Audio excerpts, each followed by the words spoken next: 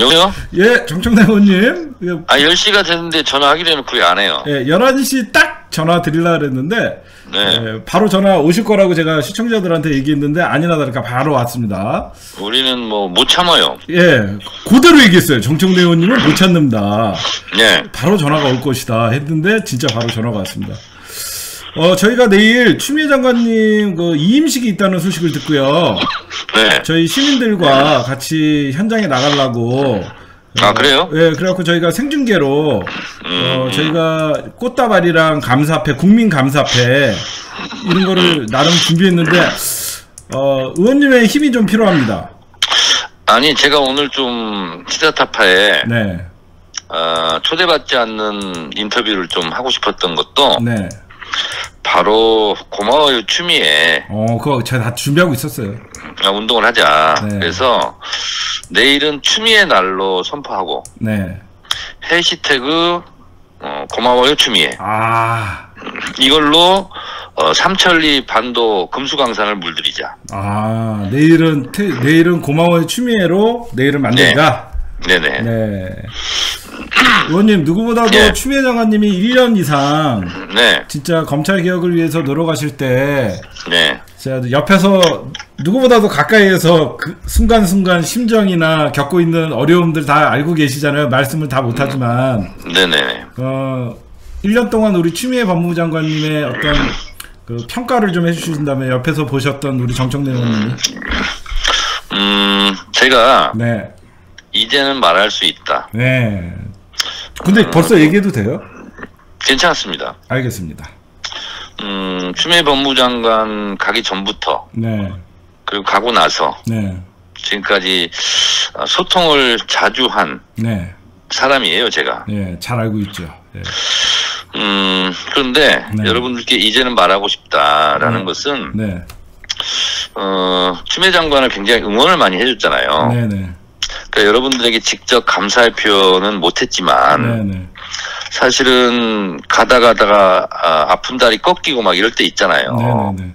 막속 터지고. 음, 그럴 때마다 추미애를 응원했던 네, 여러분들이 있었기 때문에 음, 기죽지 않고 주눅들지 않고 예, 예. 당당하게 에, 결기를 보이고 용기를 보일 수 있었다 라는 음, 것이 제 생각이에요. 저희가 엄청난 그 법무부의 꽃보내기 운동뿐만 아니라 네네. 자, 우리 개국본 회원 여러분들이 참 대단하더라고요. 그런 거 보니까. 네.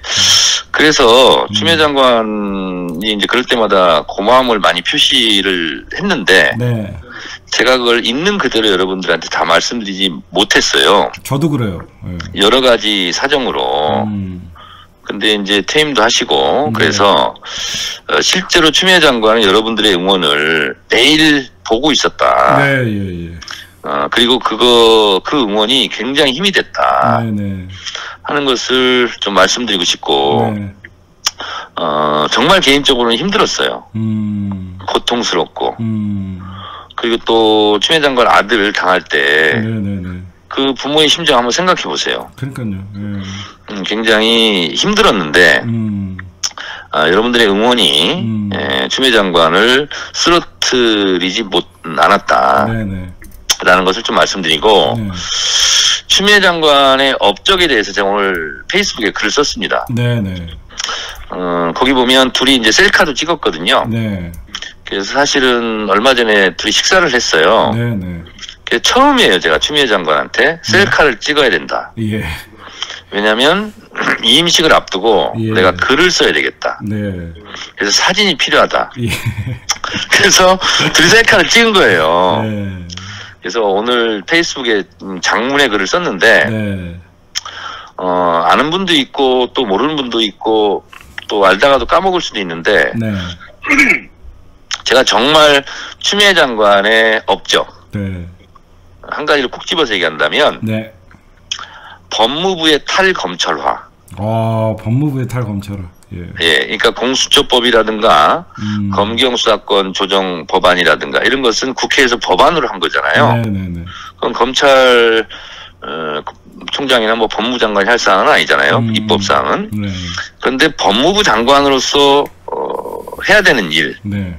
그거는 법무부의 탈검찰화였어요. 음. 그게 무슨 얘기냐면 네. 우리가 법무부 검찰청 그러잖아요. 네. 그 법무부의 외청이잖아요. 네. 근데 사실상은 네. 검찰부 법무청이었어요. 그게 맞네요. 여태까지. 예. 네, 검찰부 법무청. 예. 어, 검사들이 법무부 요직에 다 파견됩니다. 그렇죠. 예. 그리고 예전엔 청와대에도 파견됐어요. 음. 근데 문재인 정부 들어서면서 파견 검사를 다 끊었습니다. 음. 청와대에는 현직 검사가 한 명도 없습니다. 네, 네. 어, 그리고 법무부 장관을 중심으로 법무부의 요직은 음. 검찰들이 다 장악하고 있었어요. 그렇죠. 예. 그래서 법무부 장관이 포위되어 있었거든요. 음. 근데 그 고리를 다 끄는 겁니다. 음. 이게 추미애 장관이 가장 큰 업적이다. 저는 이렇게 보고 있고요. 네, 네. 그 과정이 완벽하게 성공했느냐 실패했느냐도 중요하지만 네. 그 시도 자체가 저는 업적이라고 봅니다. 그런 시도조차 못했죠. 사실 검찰이 네. 무서워서. 그렇죠. 예. 옛날에는 검찰 선배가 음. 검찰 후 어, 검찰 출신 법무부 장관이 네. 검찰 후배 검찰총장을 음. 수시로 당근과 채찍 또는 완력으로 관리하거나 관리 당했거든요. 그렇죠. 예. 근데 법무 어, 추미애 법무부 장관은 그 고리를 끊은 겁니다. 음. 그렇기 때문에 공개적으로 수사 지휘권을 했고 음. 공개적으로 인사권을 행사했고 네. 공개적으로 검찰총장마저 징계위에 회부한 겁니다. 그렇죠. 예. 그 과정에서 엄청난 보수 언론의 공격이 있어서 음. 추미애 장관이 뭐 일반적인 평가는 뭐 비호감이 높아졌다, 음. 싫어하는 사람이 많아졌다. 그러지만 음. 우리가 그럴 때 아니다. 추미애가 고마웠다. 그렇죠. 이렇게 우리가 응원을 해야 되는 거예요. 네. 그래서 저는 추미애 장관이 개인적으로는 음. 얼마나 두려웠겠습니까? 그럼요. 얼마나 네. 겁났겠어요. 네. 그리고 얼마나 그 상처가 아팠겠어요. 네. 그렇지만 용기는 두려움을 모르는 게 아니라 두려워도 하는 것이 진짜 용기거든요. 네. 그리고 더 큰 용기는 내가 미움받을 용기 라고 음. 제가 얘기했는데 야, 미움받을 용기 그 말 참 좋네요. 네네네. 어, 그러니까 보수 언론이나 이런 데는 미움 맞죠. 네. 그렇지만 미움을 받, 받는 용기를 낸 거죠. 네. 그래서 저는 그런 추미애가 음. 참 고마웠다. 네. 라는 걸 제가 페이스북에 썼습니다. 네. 저희가 그래도 기특하게 의원님 말씀 안 해도 벌써 집회 신고를 일주일째 내놓고 혹시나 거의 태극기 모독 부대가 와갖고 추미애 장관님 나갈 때 망칠까 봐 저그 일주일 전부터 저희가 집회 신고를 내놨고요. 잘했고요. 예. 김어준은 제가 업어 키웠고 예. 이종원은 남의 기어 키웠는데 하여튼 둘 다 잘 성장해줘서 고마워요. 예. 그리고 여러분들에게 이제는 말할 수 있다. 우리 정청래 의원님이 말씀하셨는데요. 엊그저께 우리 정청래 의원님이랑 추미애 장관님이 식사를 하면서 셀카를 찍을 때 솔직히 이거 얘기해도 되죠? 잠깐 전화로 네. 통화를 했어요. 추미애 장관님이. 우리 정청래 의원님이 바꿔주셔갖고 제가 네. 추미애 장관님이랑 통화를 했는데 여러분들에게 지난해 너무너무 고맙다. 라고 여러분들 꼭 그 말을 전해달라고 진짜 하셨어요. 여러분들에게 너무너무 고마웠대요. 그리고 음. 어, 조국 장관하고도 제가 소통을 많이 하는 편인데 의원님 진짜 우리가 말은 못하는데 네. 해도 아, 언젠가 할 날이 있겠죠. 예. 근데 이제 이제 다 말씀드릴 수는 없고 그렇죠. 예. 한 가지만 말씀드리면 제가 궁금해서 네네. 둘이 식사할 때 물어봤어요. 예. 어, 우리 검찰 서초동 음. 검찰청에서 촛불 시위 했을 때 그 예. 들렸냐 안 들렸냐 들렸대요. 그랬더니 방배동 집에서 다 들렸다. 예, 예, 예. 그리고 너무 고마웠다. 예. 그 같이 있었잖아요, 그때. 너무 큰 힘이 됐다. 예. 그 얘기를 하는 거예요. 예. 그래서 아, 이 분들이 음. 이, 실제로는 공식 석상에서 참 그 뭐랄까 좀 이렇게 형식적으로 음. 이렇게 이런 워딩을 할 수밖에 없잖아요. 그렇죠. 예. 그렇지만 그들도 사람이에요. 그럼요. 예. 예, 용기가 필요할 때 음. 어, 정말 많은 응원 부대들이 좀 있어야 되고 음. 또 외롭고 쓸쓸할 때 응원해주는 사람이 많이 있기 때문에 네. 꿋꿋하게 버티면서 가는 거거든요. 네, 네, 네. 그래서 진짜 필요한 분에게 필요한 사람에게는 응원이 필요하다. 네, 네. 그리고 어, 지금 이제 회복돼서 반등해서 지지율이 올라가서 잘 하고 계시지만 네. 문재인 대통령에 대한 응원도 이- 네. 잊어서는 안 된다. 그럼요. 네. 그런 생각이 듭니다. 그래서 오늘은 음, 어, 내일을 임식하는 날은 추미애 날로 우리가 음, 지지하는 사람들이 선포하고 네. 해시태그 고마워요 추미애. 지금 막 올라가고 난리예요 벌써부터. 아 그렇습니까? 네, 벌써 그냥 너무 너무 많이 올라가고 그냥 벌써부터 의원님 말 한마디에 고마워의 추미애가 도배되고 있어요. 네. 아 근데 제가 어 고마워요 정청래는 없어요? 어 고마워 정경심은 있네요. 정청래인 줄 알았더니 고마워요 정경심까지는 있습니다. 아 고마워요 정청래는 없어요? 예, 없습니다 아직까지는. 아 참 그래도 괜찮아요. 네. 의원님, 네. 늘그 제가 정청래 의원님을 참 오래됐지만 늘 이렇게 네. 같이 정치하는 분들이 네, 왜 정청래를 탄- 찾나 이렇게 가만 생각을 해봤더니요. 네, 어려운 사람을 그냥 외면하지 않는 게 정청래 의원님의 매력이에요. 그래서 항상 내 일이 아니라도 누가 어려움을 닥치면 본인 일 같이 같이 돕고 정 저기 우리 추미애 장관님도 그랬고 조국 장관님도 그랬고 왜 남들은 어떻게 보면 자기 또 정치 유불리를 따지는데 정청래 의원님은 그냥, 그냥 나서 지나요? 왜 그러시는 거죠? 항상? 음 사실은 음, 성격상 그런 것도 있고요. 네네네. 어 좀 고난과 어려움에 처하면 음, 제가 먼저 연결을 하- 연락을 하거든요. 그러더라고 항상 보니까. 음. 예, 그래서 의형제 동생 맺은 친구가 세 명 있습니다. 예, 예, 예. 이상호 기자, 네. 어, 그 다음에 유민 아빠, 음, 세월호, 음. 유민 아빠. 음. 어, 뭐 오늘도 전화 왔더라고요. 그래서 네, 네. 다음 주 수요일에 만나기로 했는데 유민 아빠 네. 그리고 최순실 국정농단을 세상에 알려준 노승일 네, 노승일. 네. 이렇게 이제 의형제를 맺은 어, 제 동생들이에요. 네, 네, 네. 근데 제가 이제 어려운 사람이란 개인적인 차원도 있지만 음, 어쨌든 개혁을 위해서 음, 그런 분들의 힘을 주자고 한 것을 더 진한 계기가 있었어요. 네, 네, 네. 제가 컷오프 됐잖아요, 4년 전에. 그렇죠. 네. 그때 저를 위해서 울어준 분들에 대한 고마움을 잊을 수가 없어요. 음, 만약에 그 제가 컷오프 됐을 때 음, 정청래는 컷오프 잘 됐어 내지는 음. 뭐 컷오프 됐나 보지 뭐 내지는 네, 네. 뭐 나는 관심 없어 어 이런 이런 것이 아니라 정말 나의 아픔처럼 음, 아파하고 슬퍼하고 음, 소리쳐줬거든요 음. 정청래를 살려내라고 네. 그래서 그 덕분에 제가 또 21대 국회에 음, 들어올 수 있었어요 예, 그래서 예. 그 고마움을 어, 저는 잊을 수가 없고 네. 이 갑자기 커- 컷오프가 돼서 총선 출마 어, 프랭카드도 떼야 되고 음. 사무실도 철수해야 되고 네. 그리고 그 철수하는 보좌진들을 보는 심정은 정말 힘들거든요 그게 음, 그럴 때 저에게 용기를 준 저에게 응원해 준 음, 우리 지지자분들을 잊을 수가 없죠 그래서 저는 네. 그분들에 대한 보답이 조국을 응원하고 추미애를 응원하는 거다 음, 어, 제가 할 수 있으니까요 그 네. 응원하는 것은 네, 네. 그래서 더 진한 마음으로 음, 우리 진영에 어려움을 닥친 분들이 있으면 음. 어, 제가 아파요. 저도 그래요. 여러분들이 제가 컷오프 됐을 때 아팠던 것처럼 음. 어, 그래서 그러는 거예요. 네. 근데 어떻게 보면 정청래 의원님 4년 동안 저희 또 시민들과 더 친해지는 것도 있었던 것 같아요. 그쵸, 의원님? 어, 지켜보니까. 그렇죠. 음. 그이 정치라는 것도 우리가 일상생활이란 사회 공동체잖아요. 네네. 혼자 살 수 있는 게 아무것도 없어요. 네네네. 제가 국회의원 되려면 5만 표를 받아야 된다면 음, 제가 갖고 있는 표는 한 표밖에 안 돼요. 그렇죠. 그럼 49,999명이 정청래 아닌 다른 사람이 찍어줘야 되잖아요. 예, 예. 우리의 당도, 네. 국가 운영도 그런 거고, 음, 어, 검찰 개혁도 그런 거지 않습니까? 네. 혼자 할 수는 있는 것은 없어요. 네네.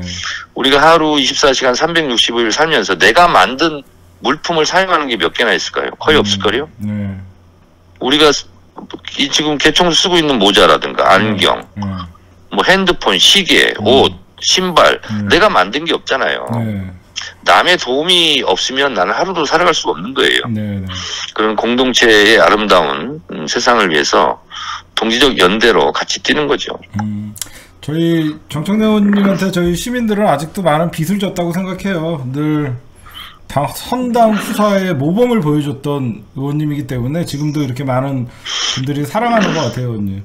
음, 아 그리고 음, 내일 하루는 추미애 장관의 날로 고마워요 추미애 하지만 예, 어, 조국 장관도 항상 잊으면 안 돼요 우리가. 당연한 거죠. 그래서 그리고 어떻게 보면 조국 추미애 음, 두 분이 어떻게 보면 좀 이렇게 한몸 공동체라든가 뭐 이런 같은 느낌이 있는 것 같아요 제가 봤을 때. 그렇죠. 의원님 고마워요 네. 정청래가 이제 조금씩 보여요. 고, 고마워요 정청래요? 예, 조금씩 보이기 시작하네요. 아 고마워요 정청래는 뭐 안 하셔도 돼요. 예, 어유 벌써 8천 명이 있는데 이렇게 좋은 말씀해 주셔서 고맙고요. 의원님 네. 내일은 저희 방송 한번 보세요. 3시부터 저희가 생중계할 거니까요. 어, 네, 네, 의원님 항상 알겠습니다. 고맙, 항상 고맙습니다. 네 good night. 네, 고맙습니다. 네, 여보세요. 예, 안녕하세요, 김남국 의원님. 예, 안녕하세요. 예, 지금 어디 밖에 계시나 봐요. 아, 네, 저는 지금 안산 집에 있습니다. 아, 안산 집에요. 네. 예, 지금 많은 분들이 우리 김남국 의원님 나오신다 그러니까 우리 정청래 의원님 이어서 김남국 의원님 인터뷰 이어, 이어, 이어지고 있는데요. 네, 네. 어제 그 인사청문회 잘 봤습니다.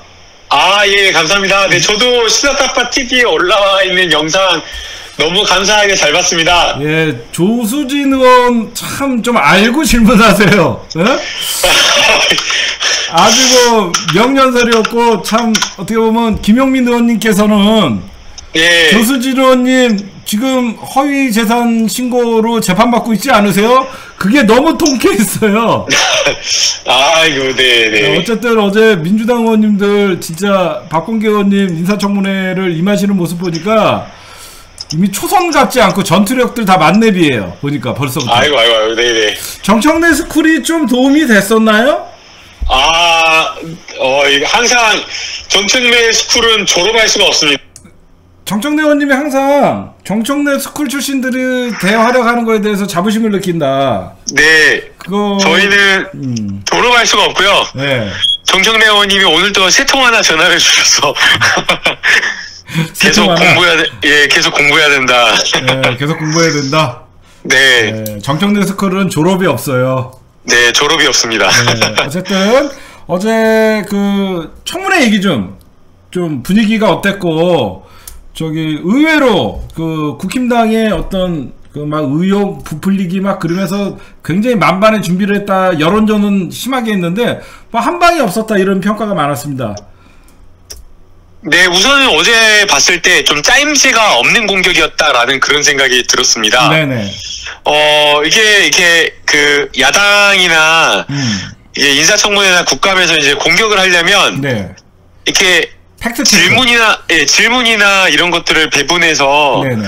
적재 적소에, 그리고 오전, 오후 질문, 뭐 이런 것들 다 이렇게 준비해가지고 질의를 해야 되는데, 그런 네. 것들이 좀 없었다라는 생각이 들었습니다. 음, 민주당은, 민주당은 예. 그거에 반해서 오전에 어떻게 나오면 어떻게 한다 그게 다 준비가 돼 있는 건가요? 네, 저희는 이제? 계속해서 어. 그 간사님과 위원장님 중심으로 회의를 하고 어. 어, 어떤 내용을 중심으로 반박을 해야 될지 그런 것들을 계획을 많이 세웠었는데요. 네네. 이제 대표적인 건이 네. 그 조수진 의원님이 질의한 내용이었거든요. 네네. 그 조수진 의원님이 박봉계 의원님의 재산 허위 뭐 신고 막 이런 것들을 질의하는 거예요. 예. 근데 이제 그게 이제 어떻게 보면 부- 맞지가 않는 거잖아요. 네, 그러니까 조수진 의원님이 본인이 그 재산 누락으로 인해서 재판을 받고 있는데 그것도 150만 원 선고되지 않았나요? 그걸 가지고 이제 그걸 가지고 이제 재판을 본인이 받고 있는데 음. 그거에 대해서 고의로 누락한 거 아니냐라 막 다그치면서 질의를 하면 네. 어 국민들이 봤을 때는 그 질문의 설득력, 음. 힘 이런 것들이 아무래도 좀 떨어질 수밖에 없기 때문에 네. 어, 그런 질문을 보면서 좀 짜임새 있게 야당이 질문을 짜오지 못한 것 같다라는 음. 그런 생각을 좀 했습니다. 그리고 제가 인상 깊게 들었던 것은 우리 최강욱 의원님 있잖아요. 아, 예, 완전히, 최강욱 의원님이 예, 그 이런 질문했어요. 그 검찰 개혁이나 그다음에 그 누가 질문했죠? 윤석열과의 친분 관계를 김용민 의원님이 질문했나? 단 일도 없다라고 대답을 하신 거. 음, 그 그런 게 나오더라고요. 향간에서는 어, 윤석열 총장과 박범계 장관이 어떤 친분에 대해서 걱정하는 목소리가 있다. 예. 그거에 대해서 박범계 그 장관 후보자의 대답이 단 1도 친분 없다 그래 버리더라고요. 예. 예, 그런 것도 좀 기억에 남고 특히 김학의 전 차관 출금 문제에 대해서 오히려 저쪽에서 꺼내놨다가 이 사건이 오히려 공수처에 가는 사건으로 되는 것 같아요. 그거에 대해서 좀 말씀해 주세요. 예, 공수처법 25조 2항에 따르면 네. 이거는 명백하게 관할이 있는 사건이거든요. 네네. 그러니까 이제 검사의 고위공직자와 관련된 그런 사건이다라고 한, 한다면 음, 이거는 그 검, 검찰에서 마음대로 수사하는 것이 아니라 음, 기본적으로 공수처가 수사해야 된다라고 음. 관할권을 아예 인정을 하고 있는 그런 사건이기 때문에 네네. 어 이거는 이제 공수처가 지금 출범 준비 중에 있다고 하지만 네. 막 이렇게 검찰이 속도를 내서 수사해야 할 만한 사건이 아니거든요. 네네네. 그래서 이 부분에 대해서 어 법무부 장관 후보자인 박범계 그 장관이 음, 아 이거는 원론적으로 음. 공수처가 수사해야 될 사건이다. 네네. 라고 명백하게 네. 어제 밝혔습니다. 어, 그거 보면서 오히려 저쪽에서는 그 불법 출국 금지로 몰아가갖고 결국은 이성윤 중앙지검장 뭐 해갖고 결국은 직권 남용으로 엮으려고 그러고 하는 것 같은데 오히려 더, 더 역풍이 불어갖고 그런 거 어떤 그 자기네들과 공수처에 가야, 가야 되는 사건이다라고 명백해지는 것 같고 어제 김남국 김남국 의원님 어제 질의 중에 예, 예. 그, 이, 그, 김학의 사건 중에 가장 핵심은요, 예. 공익 제보자라는 탈을 쓰고, 말도 안 되는 현직 검사가 수사 자료를 국민의힘에 넘겨준 게 이게 팩트 아니에요? 그러니까 이거는 그 어떻게 보면 본질을 호도하는 거라고 볼 수가 있는데요. 네. 기본적으로는 그 김학의 전 차관이 출국하려고 하는 것을 네네. 어 그 과거사 진상 조사단에 검사 파견 나가 있는 이경 검사가 그걸 막은 거였거든요. 네네네. 그러니까 도주하려고 하는 어떻게 보면 예를 들면 도주하려고 하는 그 피의자를 네네. 적극적인 그 노력에 의해서 음, 어 잡 붙잡은 건데 그렇죠. 근데 이제 그걸 거꾸로 그 붙잡으려고 하는 노력을 음. 엄격한 잣대를 들이대 가지고 막 그 그게 이제 범죄다라고 하면서 음. 막 수사를 하는 거기 때문에 네. 이거 자체가 이게 말도 안 되는 음, 이런 상황인 거고요. 네. 네, 또 거기에 이제 더해서 이제 법률적으로 이제 막 평가를 해보더라도요. 네. 이게, 이게 말이 안 되는 거예요. 기본적으로 이게 긴급 출국 금지라고 하는 것은 음. 그 압수수색이라든가 그 구속이라든가 이런 거와 마찬가지로 법원에 의해서 발부받은 영장에 의한 강제 수사 이런 것들이 아니거든요. 네네. 행정처분입니다. 행정처분. 네네. 출입국 관리법에 따른 행정처분이기 때문에 네. 그 절차적인 어떤 하자가 있다고 하더라도 네. 적법한 요건에 따라서 법무부 장관이 허가를 하면 네. 하자가 치유가 되는 거거든요. 그래서 네. 제가 어제 그 저녁에 질의한 것도 2012년 대법원 판례에 명복한 대법원 판례가 있다. 음. 그래서 신청 요건이 미비한 것이 있다고 하더라도 음. 법무부 장관이 요건에 따라서 출입국 금지를 했다. 그 요건에 따라서 적법하게 어 불허했다. 요건에 따라서 그 출입국 금지를 했다라고 한다면 음. 그것은 하자가 형식적인 그 절차적인 어떤 하자가 치유가 돼가지고 네. 그 적법한 것이로 평가가 되는 것이지 네. 신청한 요건이 뭐 하자가 불비했다고 해가지고 그거 전체가 다 불법인 것은 아니거든요. 네네네. 그래서 이러한 명법 명백한 행정법 하자 치유라고 하는 그 법리가 음. 판례가 다 있는데 음. 그런데 그러한 판례를 다 무시하고 음.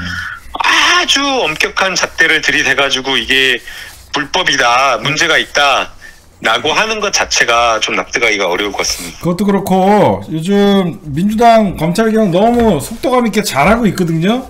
근데 향간에서는 그 의원들을 압박하면서 마치 검찰개혁을 안 하려는 것 같이 그리고 민주당 출신의 검사 출신들이 검경 수사권 완전한 분리에 따라서 그 방해하고 있다라는 이런 유언비어 같이 막 퍼뜨리고 마치 검경 수사권 분리라고 하- 했던 것을 검찰에서 수사권과 기소권을 분리라고 이건 말도 안 되는 자꾸 이런 식으로 어 어깃장을 놓고 있는데 민주당의 당론 자체가 현재 법사위에서 검찰은 앞으로 수사를 못하게 하는 게 최종 목표 아닙니까? 아니, 이제 저희가 기본적으로 그, 그 사법, 검찰개혁 특위에서 논의하는 것 전제 자체가 네. 어, 이거는 검찰에서 6대 범죄를 따로 떼어내서 독립된 수사기관에 이 수사권을 준다라는 것을 전제로 논의를 하고 있는 거거든요. 네네. 모든, 모든 특이 활동이 그렇게 되어 있습니다. 네. 예. 근데 이제 그것을 뭐 다른 전제를 놓고 생각하기는 어렵거든요. 음. 네, 근데 이제 이게 막 마치 뭐 다른 이야기를 하는 것처럼 뭐 막 공격을 하는 것은 부적절하다라고 보이고요. 네. 이제 물론 이제 그 의원님마다 생각의 정도의 차이가 약간 강도의 차이가 약간씩은 있을 수가 있다라고 생각이 됩니다. 네, 네. 그러나 그 저, 이게 가- 검찰 개혁에 가장 선봉에 서고 가장 앞장서 있는 의원들을 상대로 해서 공격을 하고 네. 어 이게 뭐 제일 열심히 하고 제일 고생하시는 의원님들한테 이게 뭐막뭐 뭐 아닌 것처럼 문자 폭탄 막- 보내고 그쵸? 아 문자 보내 보내고 너희가 검찰 개혁을 하려고 하느냐라고 네. 하면서 그렇게 하는 것은 정말 황당하다라는 생각이 들고요. 예. 예 그리고 또 더 나아가서 제일 뭔가 이렇게 뭔가 더 노력하고 이렇게 뭐 하려고 하는데 어 그런 분들에게 어 아닌 것처럼 하면서 음. 어그 공격당하고. 예. 예, 공격하는 거는 좀 적절하지 않을까, 적절하지 억울한 않다고 면이 생각이 있는데 그러면 확실하게 얘기해 주세요. 얼마 전 어떤 뭐 매체에서 2월 안에는 앞으로 검찰은 지금 현재 1차 검찰 개혁에서 6개 중대 범죄만 수사하게 돼 있는데 그것도 이제는 검찰 개혁 그 시즌 2에서는 앞으로 검찰은 6개의 중대 범죄도 수사 못 하게 지금 입법화 입법을 발의하겠다라고 하고 올 상반기 내에는 이제는 그것을 통과시키겠다라고 얘기했는데 그 내용 좀 알려 주시죠. 예, 이제 저희가 그 공수 그 지금 현재 검찰을 공소 공소를 하는 전담 기관으로 이렇게 어 하려고 하고 있고요. 음. 그러면 이제 검찰을 공소 공소 기관으로 하게 되면 네. 검찰이 지금 전담하게 되는 수사 6대 범죄 수사권을 다른 기관으로 떨쳐가지고 다른 부분으로 이렇게 넘겨야 되는데요. 그렇죠. 근데 이제 이 수사권을 검찰로 넘기게 되면 지금 국수본으로 넘기게 되면 음. 지금 그렇지 않아도 검찰의 여러 아니, 경찰의 국수본이라든가 경찰 권력 자체가 비리화돼 있다라는 비판을 받고 있기 때문에 네. 이 6대 범죄를 경찰로 넘기고 넘기는 것은 어 본질적으로 성질상 무리다. 네, 네. 라고 이렇게 보고 있는 거고요. 네. 예, 그렇기 때문에 그렇다라고 한다면 이 6대 범죄를 다른 별도의 기관을 만들어 가지고 음. 어 수사권을 독립시켜 가지고 어 수사할 수 있는 기관을 만들어야 된다. 그런 논의를 하고 있는 겁니다. 제가 알기로는 검찰도 아니고 경찰도 아니고 제3의 수사기관을 만들어서 6대 범죄의 수사를 갖고 온다. 이게 이 얘기가 맞나요? 네, 맞습니다. 이제 그게 뭐 이름은 명칭은 뭐 여러 가지가 있을 수 있겠는데요. 뭐 수사청? 예, 특수수사청 또는 중대범죄수사청 음. 명칭은 여러 가지 이렇게 있을 수가 있습니다. 네. 그래서 해당 그 6대 범죄와 관련되어서 음. 어, 수사를 할 수 있는 그 별도의 수사기관을 만든다라는 것을 가지고 논의를 하고 있는 거거든요. 네, 네. 기본적으로 경찰에 만약에 6대 범죄를 뒀을 때에는 엄청나게 어, 그 비대화된 수사기관이 나올 수 있기 때문에 무리잖아요. 네, 네, 네. 그래서 특수기관을 둔다라고 하는 것을 전제로 이렇게 논의를 하고 있는 거고요. 네. 그래서 이제 그걸 가지고 여러 가지 이제 해외의 사례를 논의를 하고 있는 겁니다. 네. 예, 예컨대 이제 그 영국 같은 경우에는 네. 이제 기본적으로는 영국은 이제 자치 경찰제로 운영하는 국가인데요. 음. 뭐 잉글랜드하고 웨일즈 기준으로 어 43개 지방 자치 경찰청이 운영이 되고 있습니다. 네. 그게 한 1,500개 정도의 이제 자치경찰서가 운영이 되고 있고요. 네. 이 영국의 이 Home Office라고 하는 내무부 밑에 네. 국가범죄수사청 음. NCA라고 하는 National Crime Agency를 두고 있고요. 네. 이 National Crime Agency라고 하는 것은 어, 미국의 FBI를 생각하시면 됩니다. 음. 네, 네, 그래갖고 2000 이게 이게 규모를 따지면 한 4,200에서 4,500명 정도의 인원으로 되고 있다라고 하고 있고요. 이야. 네, 그래서 이제 이 국가범죄수사청에서 음. 여러 가지 뭐 경제범죄, 조직범죄, 뭐 밀매, 인신매매, 음. 뭐 또는 마약 범죄 등등의 여러 가지 범죄를 수사를 하는 겁니다. 음, 그러면 이제 앞으로 그렇게 민주당에서 밀어붙이고 있는 그런 법안들이 통과되면 이제 검찰은 아예 이제 공소나 기소만 유지하는 청으로 완전히 개혁이 되는 거죠? 네, 그렇게 되는 거죠. 그것도 이제 그 공소처 공소만 공소를 하게 공소만 이렇게 제기하고 공소를 유지하는 기관으로 이렇게 두게 되는 거고요. 네. 예, 그래서 이제 뭐 아까 말씀드린 대로 국가범죄 영국을 기준으로 국가범죄 수사청을 두게 되는 거고요. 네. 그 다음에 이제 공소 유지가 굉장히 중요하기 때문에 네. 영국 같은 경우에는 어터니 제너럴 오피스라고 해가지고 우리나라의 법무를 법무부 밑에 네. 국립기소청 음. 그러니까 검찰 기소하는 기소청을 두는 거죠. 음. 그리고 기소를 또 감시하는 기소 감시청을 좀 둡니다. 아, 기소들을 함부로 못하게 기소 감시청까지. 그렇죠. 예, 예. 와, 그게 좋다. 항상, 어. 예, 우리가 항상 기소가 자의적 기소다라는 그런 비판을 하는데, 오. 기소를 감시하는 기관을 영국 같은 경우에는 어터니 제너럴 오피스 밑에 두고 있는 거고요. 네. 그리고 이제 SFO라고 하는 네. 중대범죄수사청을 그 영국 같은 경우에는 그 중대범죄수사청을 따로 두고 있습니다. 그래서 이제 여- 영국은 이제 법무총재 밑에 네. 이 중대범죄수사청을 둬가지고 여러 가지 이제 아주 심각하고 복잡한 음. 뭐 뇌물 사기 아주 시- 뭐 부정부패 이러한 사건들을 수사할 수 있도록 하고 있는 거기 때문에 네. 우리도 우리나라도 검찰이 수사하고 있는 이 6대 범죄를 따로 떼어가지고 음.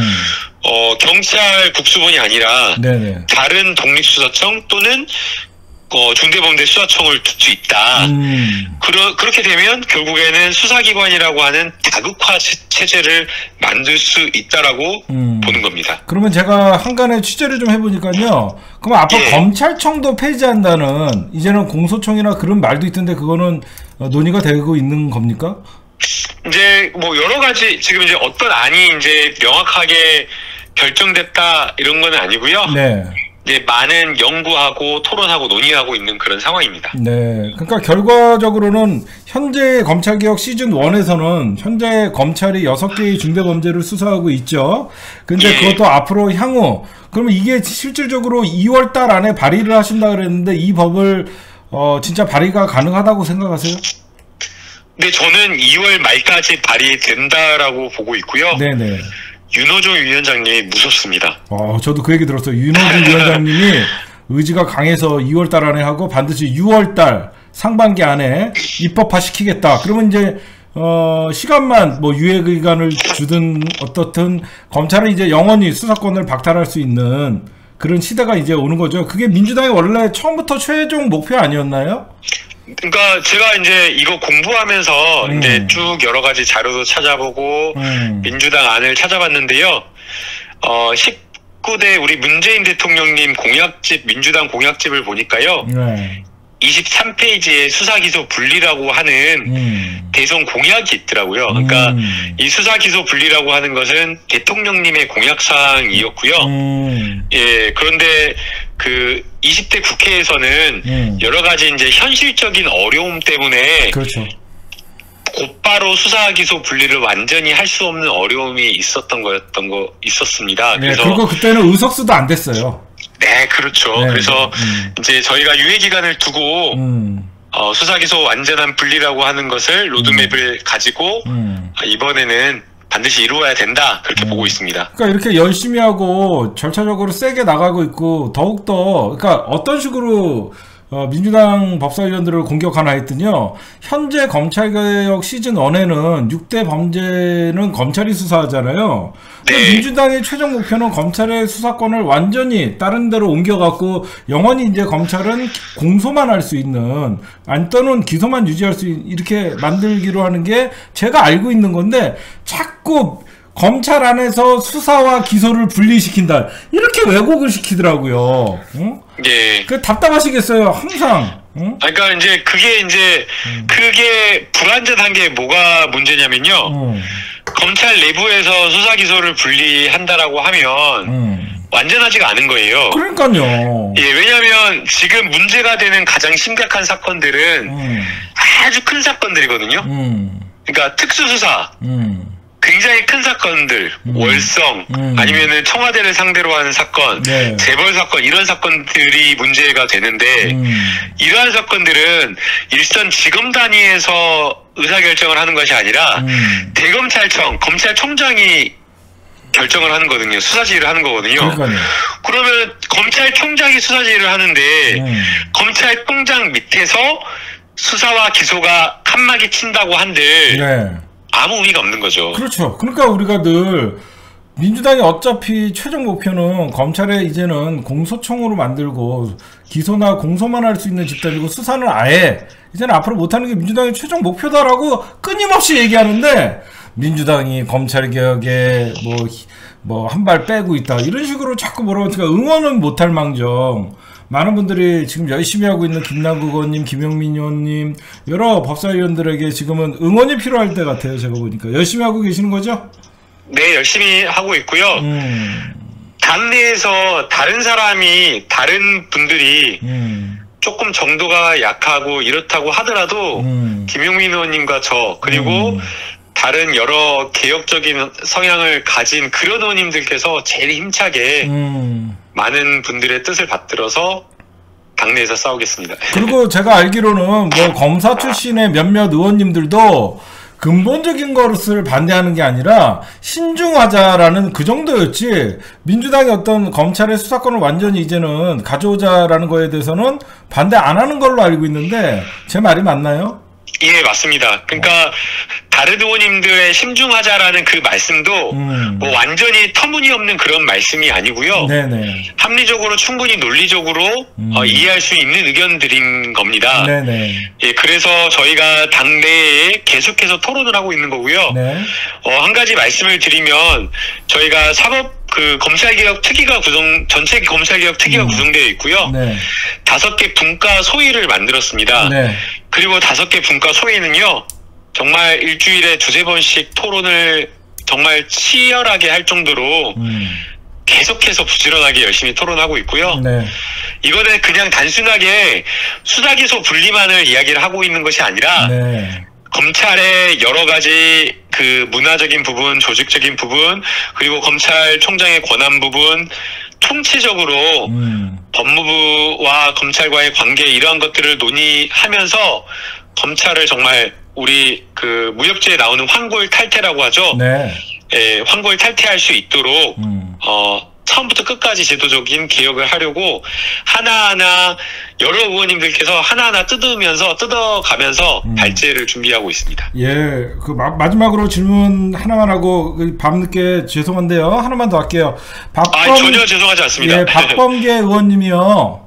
이제 장관으로 취임하시면 우리 많은 분들이 또 뭐또 박범계 의원님 공격하는 사람들도 있는데 박범계 의원님 믿을만 하신 분입니까? 어떤 거 기대해 두셨습니까? 뭐 박범계 의원님은 뭐 다들 아시겠지만 판사를 하다가 아무도 노무현 대통령을 지지하지 않을 때 맞아요. 모두가 노무현 대통령의 적일 때 음, 지지율이 다 빠져가지고 노무현 대통령이 정말 그 쓰러지시려고 할 때 그때 노무현 대통령을 지키겠다라고 하면서 법복을 벗고 나서 나선 사람이 예, 박범계 장관님입니다. 네. 그리고 박범계 장관님은 이제 문재인 민정수석과 함께 같이 일을 했고요. 그렇죠. 음. 예, 그리고 문재인 대통령 초기부터 대통령님과 긴밀하게 통화를 하면서 음. 그 검찰 개혁에 대해서 논의를 함께 이끌어 오신 분입니다. 그러니까 그런 거를 몰라요, 사람들이. 어? 네, 그래서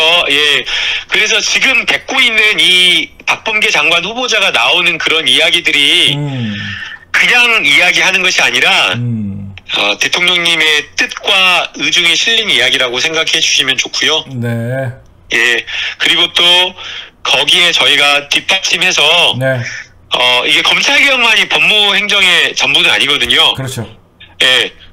법무행정은 교정행정도 있고 출입국 관리도 있고 여러 가지 것들 되게 많거든요. 네. 제가 이제 어제 질의한 것 중 하나가 음. 코로나19가 계속 되다 보니까 네네.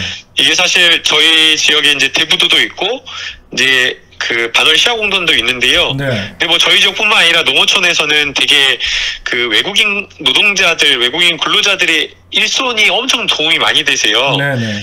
그런데 이제 코로나19가 계속되다 보니까 이제 출입 이제 입국이 불어가 되는 게 너무 아, 많아서 어. 거의 한 4, 5만 명이 지금 지난해에 비해서 줄어 있는 상황이거든요. 그래서 네네. 이러한 노동력도 부족하다. 그래서 이런 출입국 관리도 법무행정에 굉장히 중요한 음. 전문성을 발휘해야 될 정책 중 하나다라고 말씀을 드리면서 음. 어, 검찰 개혁뿐만 아니라 여러 가지 법무 행정의 주요한 부분에 어, 법무부 장관이 전문성을 가지고 관심을 가지고 어, 실력을 발휘해달라고 요청을 드렸습니다. 네, 그리고 어떤 시청자 질문 하나만 하- 해드릴게요. 어, 얼마 전에 이탄희 의원님도 저희 방송에 나오셔서 얘기했고, 근데 정동관에서 판사 탄핵에 대해서 어떤 판사 사법개혁에 대해서 얘기했는데, 우리 법사위에서도 이제 사법개혁도 신경 쓰고 계시죠? 아, 당연히 그 사법개혁이 이루어져야 되고요. 네, 어, 가장 보수적인 곳이 사- 사법부입니다. 그렇죠. 네. 가장 개혁이 돼야 될 곳이 사법부입니다. 네. 예, 어, 사실은 그 저희가 음. 그 국회가 노력을 했었어야 되는데 이제 그 사법부의 독립 때문에 음, 6위를 어떻게 하지를 못했었거든요. 네. 예, 그래서 지켜보고 사법부가 개혁되길 바랬었는데 네. 이탈리 바사님이 아주 정말 가열차게 지적을 했지만 네. 사법부의 개혁이 너무 미진했다. 네. 국민들은 기대하고 사법부가 바뀌길 바랬는데 음. 제대로 된 게 하나도 없었다라고 이렇게 비판을 하고 계시거든요. 네, 네. 예, 그래서 이 부분에 대해서도 저희 국회가 음, 제도적으로 개혁할 수 있는 부분은 확실하게 네.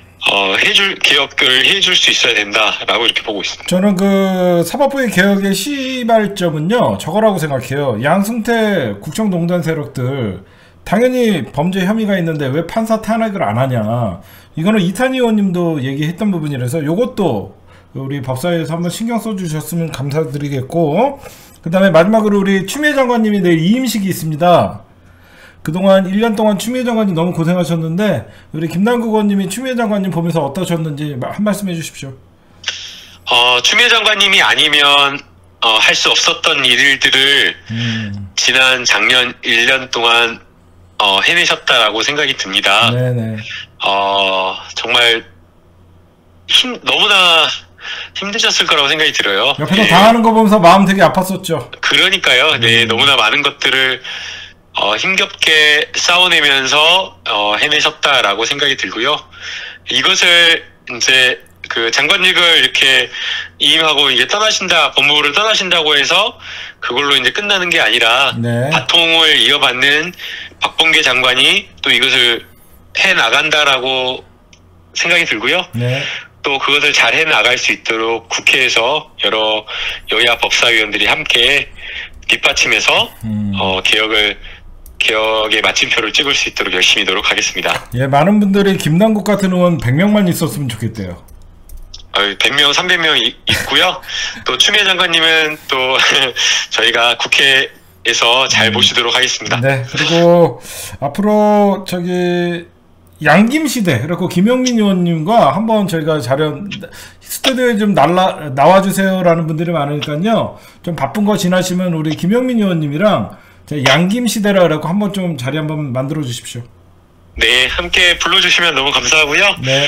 그 언제든지 이렇게 밤 늦은 시간이나 음. 밤 늦은 시간 또 아니더라도 낮이나 이럴 때에 네. 저 특파원이라고 생각하고 네. 어, 전화 연결해 주시면 네. 국회 상황을 네. 가장 빠르고 정확하게 그리고 신속하게 전달해 드리도록 하겠습니다. 네, 여기는 촛불사령부 개혁국민운동본부고요. 항상 우리 촛불사령부는 김남규 의원님 너무 든든하게 생각하고 있다. 이거 꼭 명심해 주시기 바랍니다. 네, 여기는 국회 특파원 김남국입니다. 네, 오늘 인터뷰 고맙습니다. 네, 감사합니다. 네. 편안한 밤 되십시오. 네, 늘 건강하세요, 의원님. 네, 건강하십시오. 네. 네, 김남국 의원님이셨습니다. 심충석. 네. 이성윤 지검장 얘기, 이거 좀 할게요. 여러분들 기억나세요? 김학이 출금을 갑자기 조중동에서 띄울 때, 그쵸? 여러분, 제가 한 2주 전에, 여러분들 이 사건은 이성윤, 그리고, 어, 이용구 법무부 장관, 법무부 차관 잡으려는 거다라고 기억나세요? 그때 방송 여러분들, 제가 이 사건을 갑자기 김학이 불법 출금이라 그러면서 이거를 띄울 때, 제가 미리 얘기해 줬잖아요. 이 사건은 김학이 불법 출금은 한동훈 살리려고 이성윤 잡으려는 거다. 한동훈 살리려고 이성윤을 치기 위해서 왜 이번에 인사를 앞두고 이번에 검찰 인사를 앞두고 서울중앙지검장을 어떻게 해서든지 윤석열이 자기 사람을 심어야만 한동훈 사건을 무혐의 처리시키고 그 다음에 그 뭐죠 자기 처와 장모 사건도 무혐의 처리를 시킬 수 있는데 이성윤 지검장이 딱 버티고 있고 채널A 사건을 쥐고 있기 때문에 이거를 무죄 처리를 못하는 것이다. 처음부터 이 사건 이거 괜히 띄우는 게 아니라 갑자기 김학의 사건을 왜 띄우냐 이성윤 제거하려 그런 거다 라고 얘기하면서 이 사건의 핵심은 제가 늘 주장했던 거 이거 제가 고발해야 된다고 했던 거 기억나요? 이건 시민단체가 나서서 고발해야 된다 이 사건 조중동이 막 띄울 때 이거는 자충수다. 이거는 시민단체가 고발하면 공익제보자라고 숨어있는 어떻게 현직 검, 검사가 어떻게 현직 검사가 공익 제보자가 됩니까? 쥐가 수사하던 사건을 국민의 당에 그게 갖다 준 사건이에요. 한마디로 수사 기밀을 유출해서 국민의 힘에게 갖다 줘 갖고 고발을 하도록 해 갖고 이 사건을 엮으려 그랬는데 이거는 부메랑 맞는 거예요. 제가 그래서 뭐라 했죠? 이 사건을 제보한 사람을 검사를 찾아라. 며칠 전 방송, 한 일주일 전 방송이 있나요? 검사를 찾아라. 기억나십니까? 이 사건에 유출한 검사를 찾아라. 라고 하면서 제가 여러분들에게 이 김학의 전 차관 불법 출금이 핵심이 아니라 검사를 찾아라. 이게 핵심이었어요. 제가 그렇게 보, 그대로 얘기할게요. 검사를 찾아라. 현직 검사가 국민의힘에게 수사 자료를 갖다 바친 이놈은 수사 기밀 유출이고 이놈을 잡아라. 이 사건의 핵심은 요거다. 그래서 오히려 어떻게든지 조중동 힘 믿고 김학인 불법 출금으로 몰아붙이려 그랬는데 이 사건이 공수처로 가면 중요한 건 뭐지? 공익 제보자 지가 그래갖고 공익 제보자로 신고를 지금 신청을 했대요. 무슨 현직 검사가 지네가 수사를 해야 될 놈이 수사 자료를 국민의힘에 갖다 놓고 고발을 하게 만들어 갖고 누구 말이야? 내가 볼 때는 이거 한동훈 말이야. 음. 내가 볼 때는 이건 한동훈 한동훈 머리에서 나온 거야 이건. 한동훈이 기획을 잘하거든요. 특수부 기획하면 한동훈이거든요. 그쵸? 그래서 유시민 장관이나 그 그 돈 받았다 이것도 채널A 사건도 한동훈이 기획하려다가 말한 거거든요. 이 김학의 출금 사건을 기획한 건 나는 한동훈이라고 생각해요. 왜?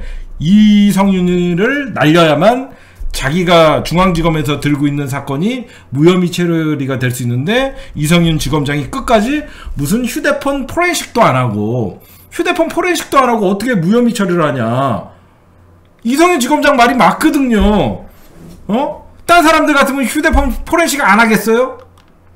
당연히 포렌식 해야죠. 그래갖고 오히려 이 사건은 더욱더 한동훈 사건이 걸려있기 때문에 어, 중앙지검에 이성윤 지검장을 칠라 그러다가 한동훈 포렌식 안 한 휴대폰에 쏠리고 있는 거예요. 그러니까 여러분들은 한동훈 휴대폰 포렌식 하라. 그리고 지금 이 사건은 반드시 김학의 사건은 공수처로 넘어가서 수사를 하게 되면 공익 제보자가 누군지를 잡아야 돼요.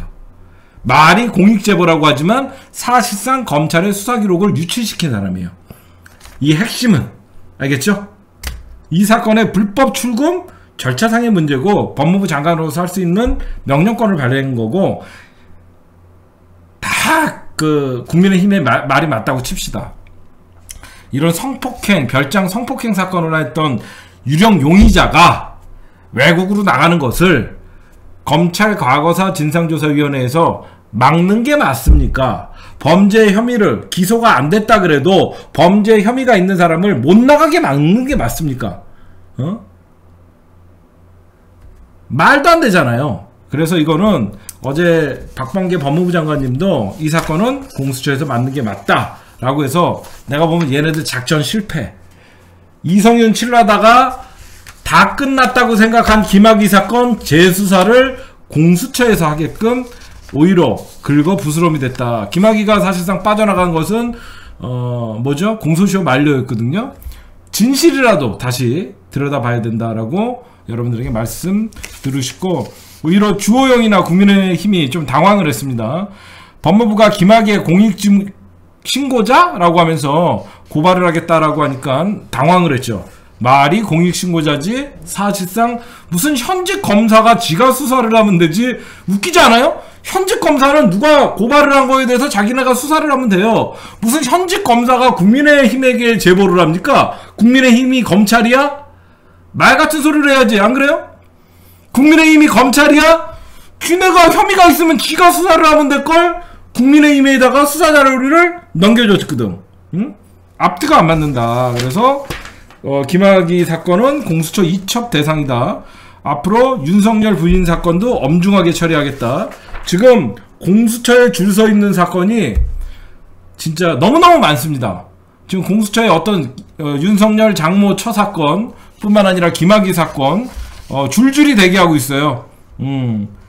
어, 윤석열 총장의 장모 사건이나 윤석열 총장 처 사건은요. 윤석열 총장이 모를 수가 없어요. 공수처에서 밝혀야 될 것은 윤석열 천하 장모 사건은 총장과 직무 연관성만 따져갖고 밝혀내면 윤석열은 구속될 수 있어요. 음. 지금 공수처가 할 일이 많아요. 그러다 보니까 공수처장이 여러분들 알다시피 공수처 차장을 임명을 해야 되는데 공수처 차장의 어 그 임명이나 어떤 그 제청 제청은 공수처장이 갖고 있어요. 그래서 만약에 어, 공수처장이 차장은 누구를 임명하겠습니다라고 대통령에게 올리면 대통령이 제가 하는 방식인데 이번에 우리 공수처장이 참 나는 현명하게 생각하는 게 김진욱 공수처장이 제가 제청권은 있지만 임명권자도 분명한 권리 권한이 있는 것이다. 그래서 저의 제청은 두 명을 하겠다. 너무 좋은 거죠. 공수처 차장을 두 명을 임명을 하면 임, 왜 내가 한 명만 임명을 하면 임명권자는 그냥 임명만 하는 거지 어떤 성향인지도 알 수가 없지 않냐. 그래서 어, 공수처장인 내가 두 명을 차장을 임명 어, 어 제청을 하면 대통령이 두 명 중에 한 명을 임명하는 게 바른 것이다라고 그래서 기, 어, 판사 출신이니까 그게 법에도 맞다. 라고 해서 재청권과 임명권이 그게 조화가 되는 것이다라고 주장을 했더니 국민의힘에서는 어 왜 대통령 입맛에 맞는 사람을 고르려고 하는 거냐라고 지금 맞서고 있는데 어, 기, 어 김진욱 공수처장이 어, 두 명을 추천하겠다. 그게 재청권과 대통령의 임명권을 조화를 이루는 것이다라고 분명히 얘기를 했습니다. 그래서 제가 이성윤 지검장 잡으려다가 공수처로 가게 된 김학의 사건이라는 주제로 첫 번째 심층 분석을 해드렸습니다. 어, 1월 18일까지만 해도요, 어, 국민의힘의 지지율이 부, 서울도 이미 역전을 했고, 부산은 거의 더블 스코어가 난다는 어, 서울시장, 부산시장 선거에 여론조사가 있었고 대통령 지지율은 뭐 최저치를 찍었다 막 이러면서 여론에서는 37점 몇 프로다 라고 떠드는 사람들이 있었어요. 근데 가만히 생각해 보니까 어떤 이유에서 어떤 이유에서 갑자기 대통령의 지지율이 올라가고 그 다음에 부산시의 민심도 흔들리고 서울시의 민심도 흔들렸나 이런 것들을 우리가 좀 봐야 되죠. 그럼 여러분들이 민주당이 제가 여러분들 늘 얘기하는 게 어떤 게 있냐면요. 정권을 잡고 있다는 거에 대해서 굉장히 유리한 면이 있다. 정권을 잡고 있을 때 뭐가 유리하냐? 재정권을 휘두를 수 있어요. 그렇죠? 아무리 기재부의 늘공들이 국가 재정 위기다라고 얘기를 해도 대통령이 지도자고 민주당이 180석을 갖고 있기 때문에 제가 얼마 전에 방송에서 여러분들 그 얘기했어요. 홍남기는 민주당을 이길 수 없다라는 얘기를 했어요. 그렇죠? 홍남기는 민주당을 이길 수 없다. 왜? 관료 조직은 입법기관인 민주당에서 얼마든지 마음만 먹으면 홍남기를 날려버릴 수도 있고 홍남기에게 압박을 할 수도 있고 그래서 지금 민주당은 사실 기재부를 신경 안 써요. 그렇죠? 기재부를 신경 안 씁니다. 자기들이 얼마든지 손실보상법 법으로 통과됐어. 그러면 기재부가 그 법안은 내가 못하오 할 수 있어? 못하는 거예요. 국민의 대의기관인 국회에서 코로나 바이러스 19 때문에 직접적인 피해를 입은 국민들에게 법안을 통과시켜갖고 보상을 해준다는 법안이 통과됐는데 기재부에서 싫어 못해요. 잠깐 불만은 얘기를 할 수 있어도 싫어 못합니다. 어떻게 합니까? 법안이 통과됐는데 그래서 제가 민주당을 홍남기는 절대 이길 수 없다. 그래서 지금 가장 지금 여러분들 제가 민주당이 아 이래서 정권을 잡고 있는 게 유리하다라고 생각한 게 민주당에서는 180도 갖고 얼마든지 코로나 바이러스 19에 있어서 우리나라가 전 세계의 모범 국가이기 때문에 저는 전 세계에서 모범적으로 기재부 얼마 전에 여러분들 이런 얘기를 있었어요. 그, 그 behind story를 좀 얘기해 드리면 정세균 총리가 얼마 전에 이 나라가 기재부의 나라냐 그 얘기 들으셨죠? 그게 어디서 나온 얘기냐면 그 당시에 정세균 총리가 경제부 1차관을 불러요. 경제부 1차관을 불러서 어 지금 자영업 자영업자들이 직격탄을 맞아갖고 피해가 많이 발생을 하고 여기저기서 그 폐업을 할 위기가 있는데 구체적으로 손실을 보상할 수 있는 법안을 한번 찾아봐라라고 했더니 이 기재부 1차관이라는 사람이 뭐라 그러냐 외국의 어느 나라도 이런 선례는 없다라고 얘기를 합니다. 어. 외국의 어떤 나라도 어떤 자영업자들의 손실을 보상하는 어떤 이런 제도를 한 적은 없다라고 얘기하니까 정세균 총리가 이게 기재부의 나라야 딱 그랬단 말이에요. 어? 그러고 나서 어 이제 그 다음에 최 오늘 정세균 총리랑 홍남기 부총리랑 만났어요. 그쵸? 당연히 국무총리가 얘는 부총리잖아. 그래서 어 홍남기에게 손실보상제를 세심하게 준비해라. 어? 이건 진짜 손실보상제에 세심하게 준비해서 어려움 겪는 현장에 직접적으로 와닿을 수 있는 보상법을 만들어라라고 하니까 민주당이 법안으로 만들고 정세균 국무총리가 기재부 장관 불러다가 세심하게 준비해라라고 얘기하니까 지금 당연히 홍남기는 아 국가 재정 그래놓고 이제 그러고 나서 이제 홍남기가 SNS에 국가 재정은 화수분이 아니다. 이렇게 얘기를 했던 거예요. 근데 여러분들이 보시면 어, 문재인 대통령이 여기서 이제 딱 정리를 하죠. 경제 관료들이 싸우는 모습이 남들이 볼 때는 굉장히 우왕좌왕하는 모습으로 보일 수 있기 때문에 대통령이 딱 한마디 합니다. 손실보상 재정 감당 범위 내에서 제도화하라. 오히려 제도화하라라고 얘기하는 거는 뭐냐? 정세균 총리에게 힘을 실어준 거잖아요. 그러니까 홍당기가 감히 대통령에게 대줄 수 없잖아요. 그러니까 오히려 대통령이 어떤 손실보상제 앞으로 제도화하라. 이게 무슨 말이에요? 여러분들 여기서 잘 생각해야 돼요. 손실보상제도를 제도화하라라는 게 대통령이 얼마나 앞을 내다보고 있냐. 이 코로나 바이러스는 오래 간다는 거예요. 그렇죠? 단순히 한 번에 그치는 손실 보상제가 이루어지면 안 된다는 거죠. 문재인 대통령이 생각할 때는 이 코로나 바이러스는 적어도 1, 2년은 앞으로 더 갈 수밖에 없기 때문에 손실 보상 제도를 제도화해 놔서 1차 손실 보상제의 보상, 2차 손실 보상제의 보상.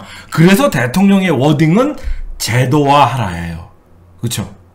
그냥 한 번으로 무슨 뭐 적선하듯이 자영업자들한테 뭐 손실보상금 쫙 뿌리는 게 아니라 오래 갈 것이 오래 갈 것이라는 걸 대비도 하라. 그래서 이거를 제도화라 그래서 민주당은 손실보상제도법을 만들고 있는 거고요. 이렇게 여러분들이 보시면 되고 어, 결국은 정세균 총리의 손을 들어줬고 문재인 대통령이 방안을 방안을 검토하라 그러니까 홍남기는 검토를 할 수밖에 없죠. 근데 여기서 이제 여러분들이 보 그래서 김태년 어, 원내대표는 바로 응답을 했죠.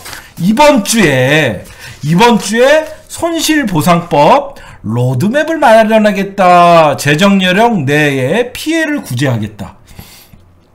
당, 정, 청, 삼박자가 제대로 움직이는 거죠. 그쵸? 정세균 총리의 정부가, 총리가 손실부당법을 제도, 저기, 반드시 기획재정부에게 살펴봐라라고 얘기하니까 먼저 정부가 나섰고, 정, 그 다음에 청와대에서 힘을 실어줬고, 그 다음에 대통령이 제도화라고 얘기했고, 그 다음에 당이 손실보상법을 마련하겠다. 당정청이 하나가 돼서 민생에 신경 쓰는 모습을 보여다 보니까 가장 당황하는 거거든요. 저쪽은 여러분들 지주일이라는 게요. 국민이 보는 눈은 똑같습니다. 민주당은 어떻게든지 자영업자들 전 국민 재난기금 지원금 주려고 하고 있고 지금 자영업자들 손실 보상해 주려고 이런 모습이 있는데 언론에서 지금 국민의 힘 같은 경우에 어떤 게 보여요? 뭐 단일화를 한다느니 안 한다느니 안철수는 저는 3월 내에 해야 됩니다. 이러다가는 야권 패배가 갈 수 있습니다. 지네끼리 서울시장 놓고 싸우는 모습을 정쟁만 하니까 전 정쟁만 하니까 누가 봐도 안 그래요? 민주당이 잘하고 있다고 보이죠? 그쵸? 너무 당연한 거야. 민주당은 어? 오히려 지금 뭐 어떻게든지 국민 경제를 살려야 된다. 가게가 망하면 안 된다라고 얘기했는데 민주당은 계속 싸워. 민주당 싸우고 국민의당도 싸워. 근데 민주당은 뭐 갖고 싸워? 국민에게 돈을 주자. 기재부가 안 된다.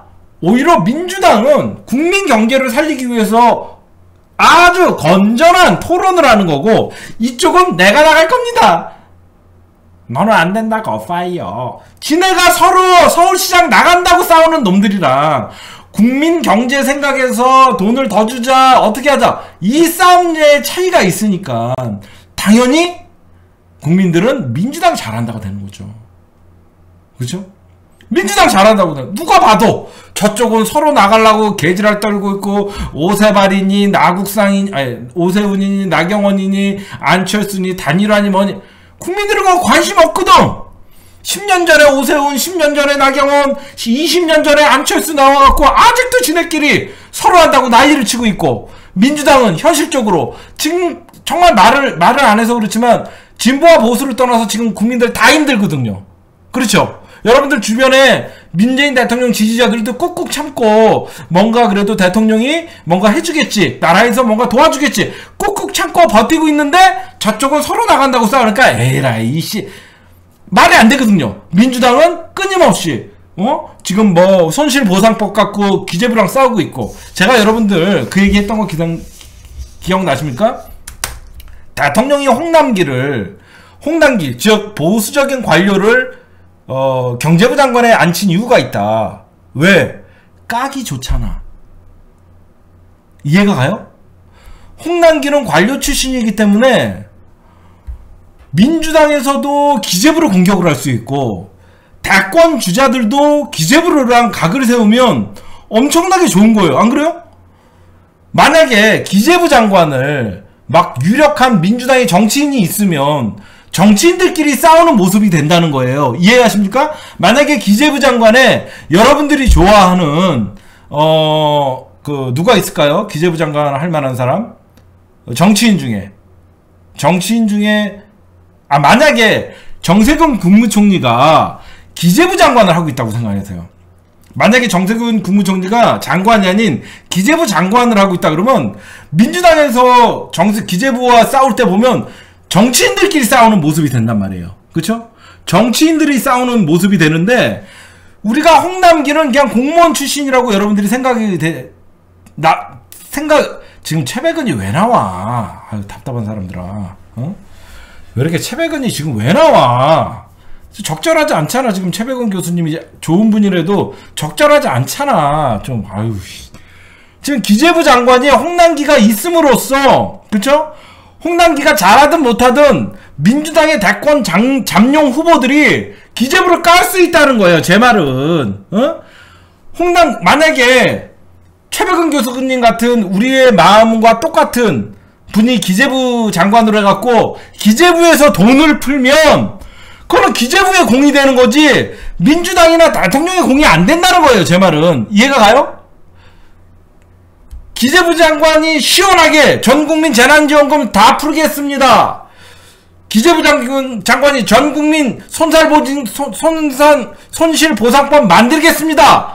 이렇게 해버리면 민주당이나 민주당의 대권 후보들이 빛이 나지 않아요. 근데 누가 봐도 우리나라 국민들은 굉장히 보수적인 거거든요. 왜? IMF를 겪었던 국민들이에요.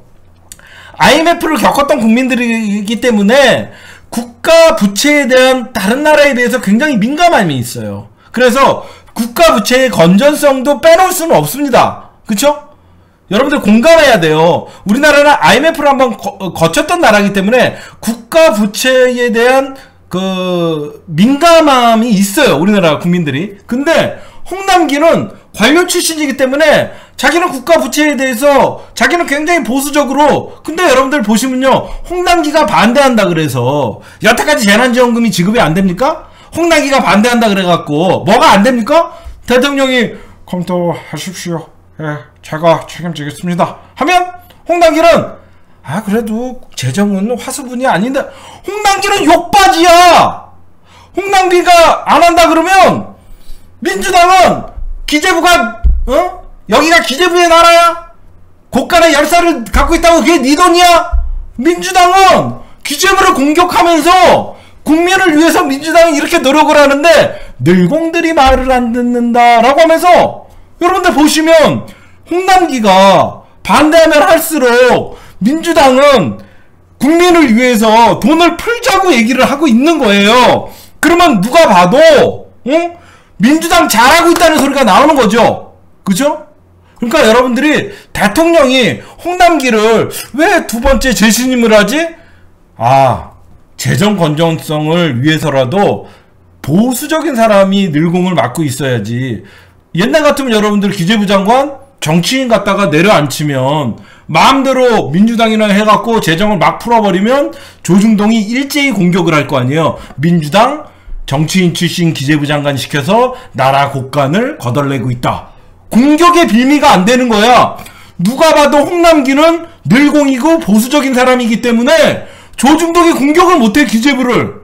기재부에서 계속 기재부에서 계속 아 우리는 여기까지는 돈을 어 여기까지만 풀 수 있다.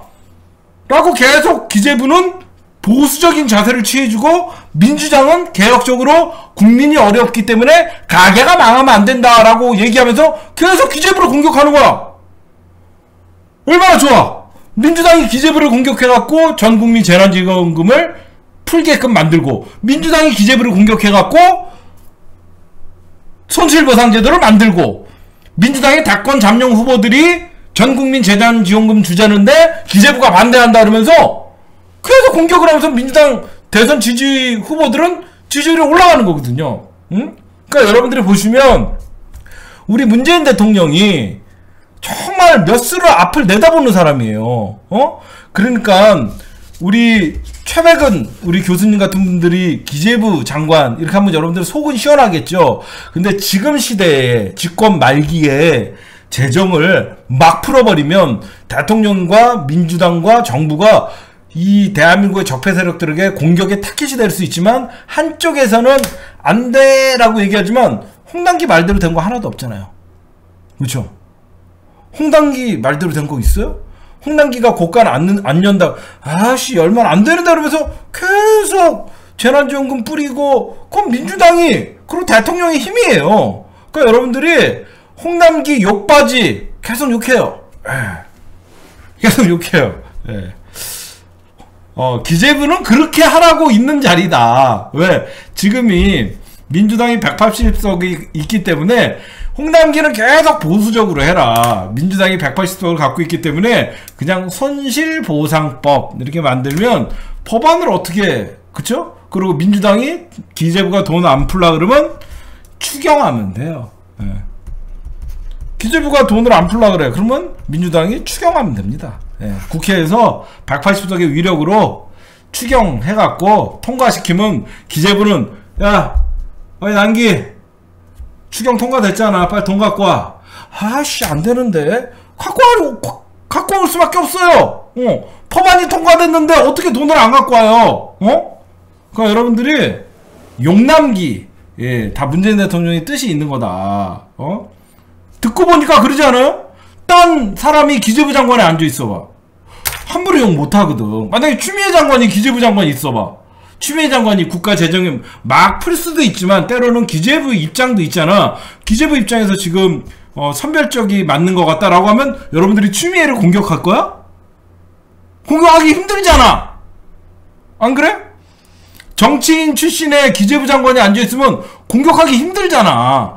근데 관료 출신의 홍남기 얼마나 좋아! 욕하기도 좋고 공격하기도 좋고 민주당은 반사 이익을 받고 그래서 어, 이러다 보니까 지금 가장 똥줄 탄 게 누구야? 추호 김종인 선생. 그쵸? 추호 김농 김종인 선생. 아이 무슨 뭐 어, 왜? 김종인은 빠르거든. 지, 지금 이 손실보상법이 통과가 되면요. 1, 2조로 해결될 돈이 아니에요.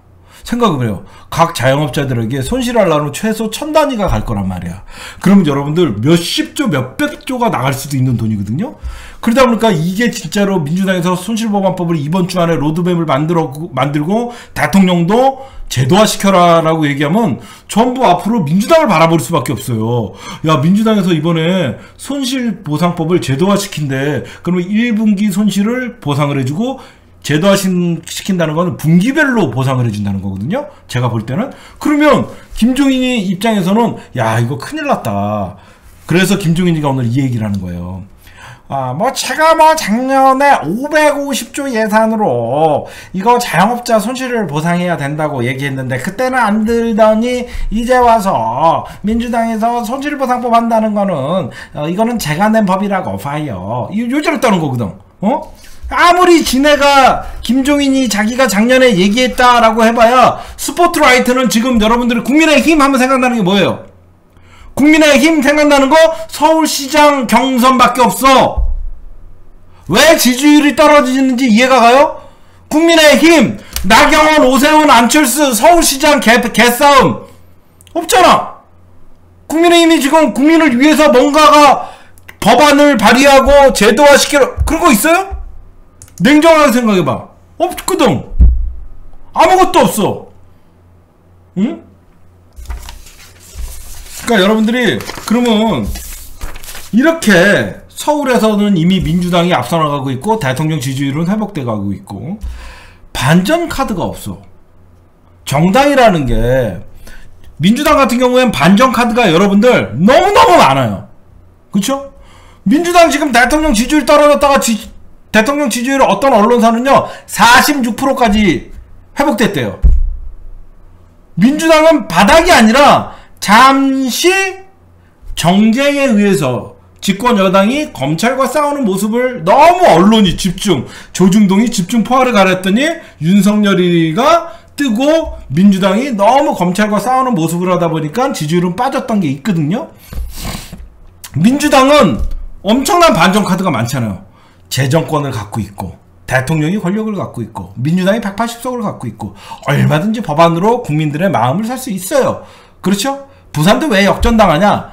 저쪽에서는 부산시장 누가 나온다 그러면서 제가 여러분들 엊그저께 박형준 성추문 스캔들 이거 갖고 여러분들 해야 돼요. 주호영이도 지금 여러분들 혼나야 되지만 박형준 성추문 스캔들이 가장 큰 거예요. 벌써 그거 조회수가 21만이 넘어갔어요. 응? 지금 제가 그냥 얘기하는 거 아니죠? 여기저기서 이제 조금씩 나오고 있죠? 이현주가 폭로한 박형준의 성추문 스캔들, 홍준표가 얘기한 박형준의 성추문 스캔들. 여러분들 여기저기서 이제 조금씩 얘기 나오고 있죠? 응? 제가 지금 처음에 터트렸죠? 박형준 성추문 스캔들을 터트리니까 여기저기서 오늘 고발 뉴스에서도 박형준 성추문 스캔들 얘기하기 시작했고, 그쵸? 그래서 여기 여러분들이 보시면 우리가 왜 지금 부산에서 지지율이 빠지는지 가만 생각해보세요. 부산에 살고 있는 사람들은 여기저기서 자영업이 망해갖고 있는데 지네끼리 개싸움이 난 거예요. 선거 때문에. 예? 그러니까 여러분들이 보시면 그런 것도 있고 근데 국민의힘은 반전 카드가 없다. 왜 없냐? 여태까지 국민의힘이 당 지지율이 올랐던 것은 딴 거 아닙니다. 민주당이 사실상 좀 검찰과의 전면전을 펼칠 때 반사 이익을 반사 이익을 보면서 어 뭐 그 정도밖에 없었는데 지금 저쪽이 지지율을 까먹는 것은 후보 단일화 문제 온통 선거에 매진하고 있다 보니까 국민의힘은 선거에 매진하고 있을 때 국민들은 사실 지금 성공한 아, 저기 저기 선거 관심 없거든요. 어? 먹고 살기 바빠서 거기에다가 부산에서 왜 지지율은 쫙 빠지고 있냐 신공항을 비판을 하고 있어요.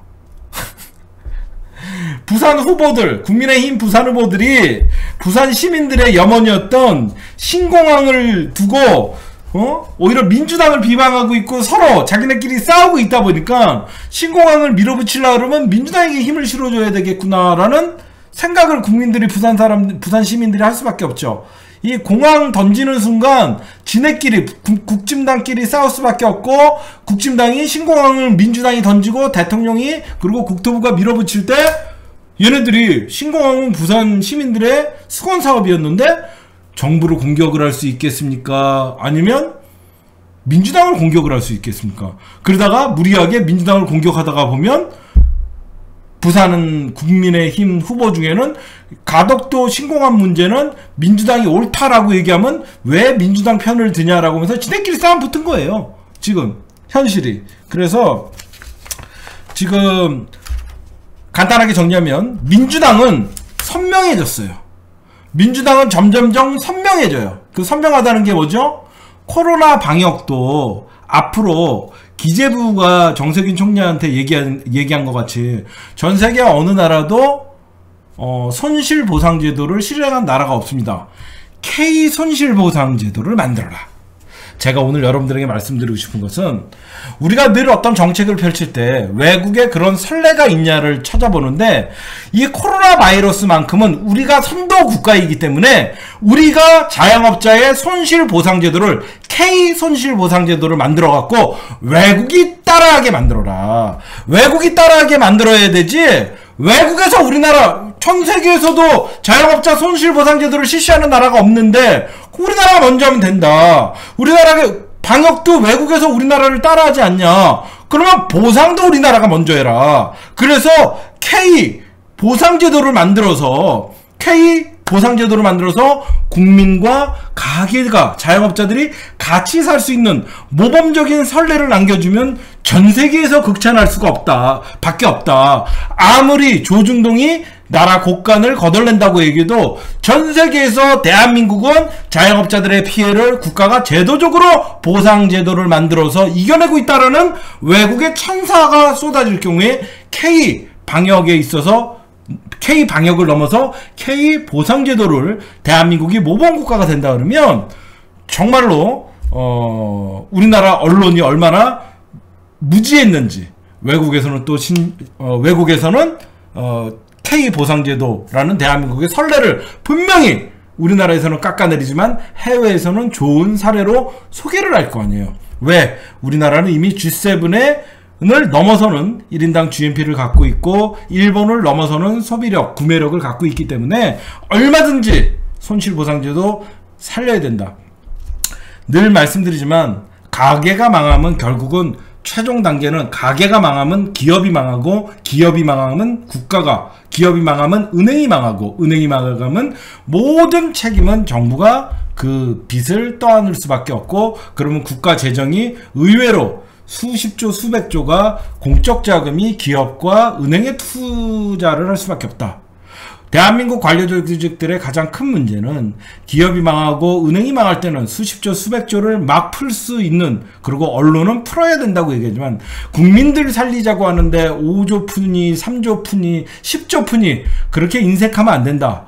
국민이 살아야 기업이 살고 기업이 살아야 나라가 산다라는 너무나 당연한 진리가 K 방역 그리고 K 보상 제도에서 알려주는 것이다 라고 여러분들에게 말씀드리고 싶고 민주당이 국민의힘에 비해서 앞으로 저는 쭉쭉쭉 지지율과 어떤 부산뿐만 아니라 서울도 지지율이 이길 수밖에 없다. 왜 그러냐?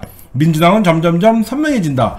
국민을 살려야 된다는 즉 4차 재난지원금은 전국민 재난지원금으로 풀어야 되는 거고 손실보상제도를 통해서 선명하게 자영업자들에게 핀셋 어, 보상이 이루어지면 민주당의 정책은 선명성이 있는 거지만 서울시장 후보의 기싸움을 하고 있는 국민의힘은 정쟁으로 비춰지기 때문에 어, 국민의힘은 지지율이 떨어지고 반전의 카드가 없다.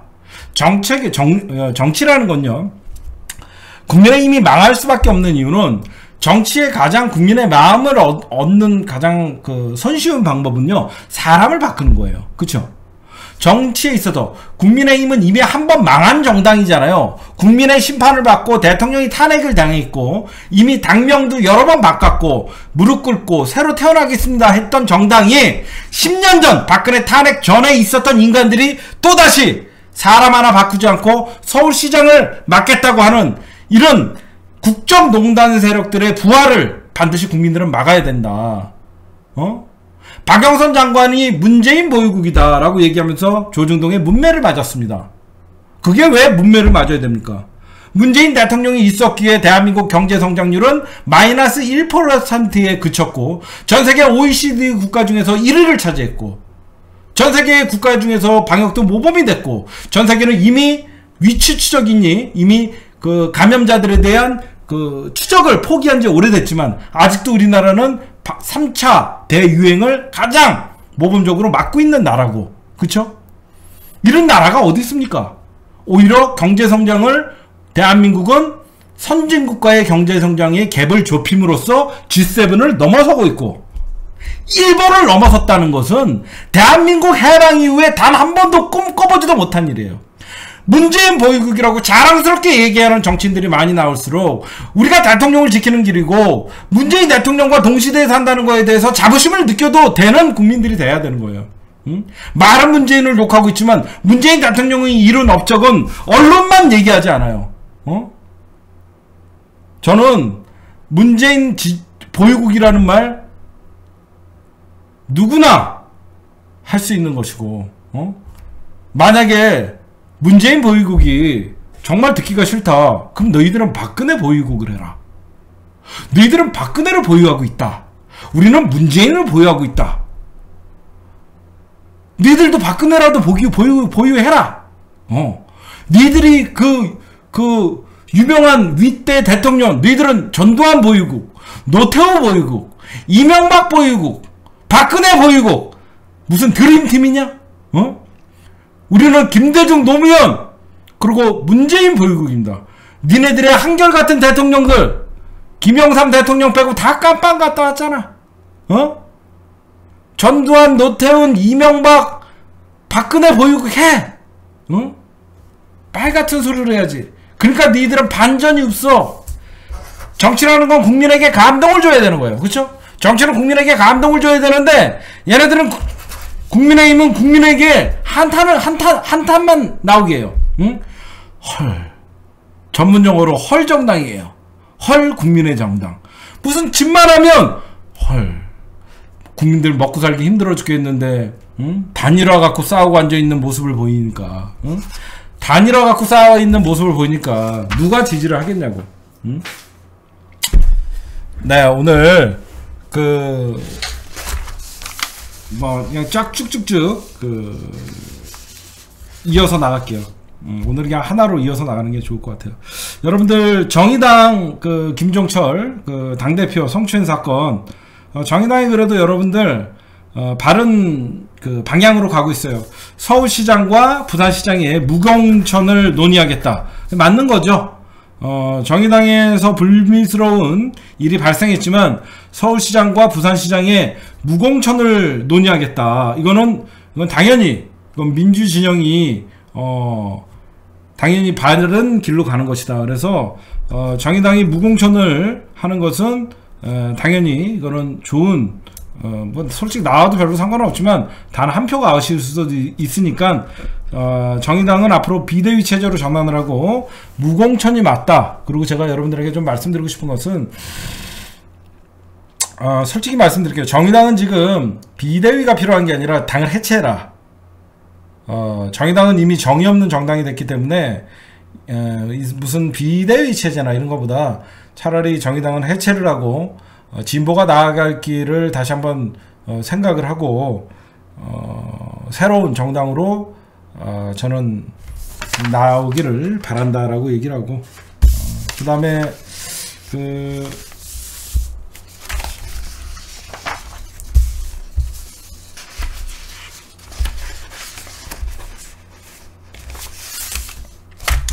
안철수 얘기 그 얘기 좀 할게요. 어 아, 요건 잠깐 끊- 끊고 갈게요. 그럼. 음. 끊고 안철수와 안철수의 마이에이 그리고 문재인 대통령의 엄청난 지지율의 상승 요거는 하나만 끊고 갈게요. 안녕하세요. 시타타파의 심층구석. 예, 문재인 대통령의 지지율이 무려 46%까지 올랐어요. 예, 그래서 여러분들이 보시면 지금 깜짝 놀라는 결과들이 나오고 있습니다. 네, 여기 보시면 문재인 대통령 국정운영 평가 추이 그래갖고 요맨 밑에 2021년 1월 46.5%까지 긍정 평가, 부정 평가는 51.0 이거 이런 집권 5년차 대통령이 이런 역대 지지율이 보일 수가 없다. 이거는 대단한 것이고 어, 언론이 조금이라도 이 K 방역이나 여러 가지 문재인 대통령의 업적을 제대로만 알려도 훨씬 더 높은 지지율이 나올 것이다라고 여러분들에게 말씀드리고 싶고 그다음에 민주당 지지율 또한 엄청난 민생 안정 그리고 민생 경제에 힘을 쓰다 보니까 여러분들이 지금 보시는 데이터 보시면요 더불어민주당이 1월 셋째 주 주간 집계를 보시면요 어, 이거는 리얼미터 조사입니다. 민주당이 드디어 32.8%, 28.6% 역전을 했고, 범민주 진영이나 이쪽을 보면 훨씬 어, 추세가 민주당이 계속 치고 올라가는 추세다라고 여러분들이 보시면 될 것 같고요. 그 다음에 서울시장 후보 여러분들이 관심을 갖고 있죠. 이 한국사회 여론조사 연구소에서 나온 거 보시면요. 어, 요거 한번 보십시오. 아, 이거는 문재인 대통령 국정, 아, 아까 본 거고, 죄송합니다. 요거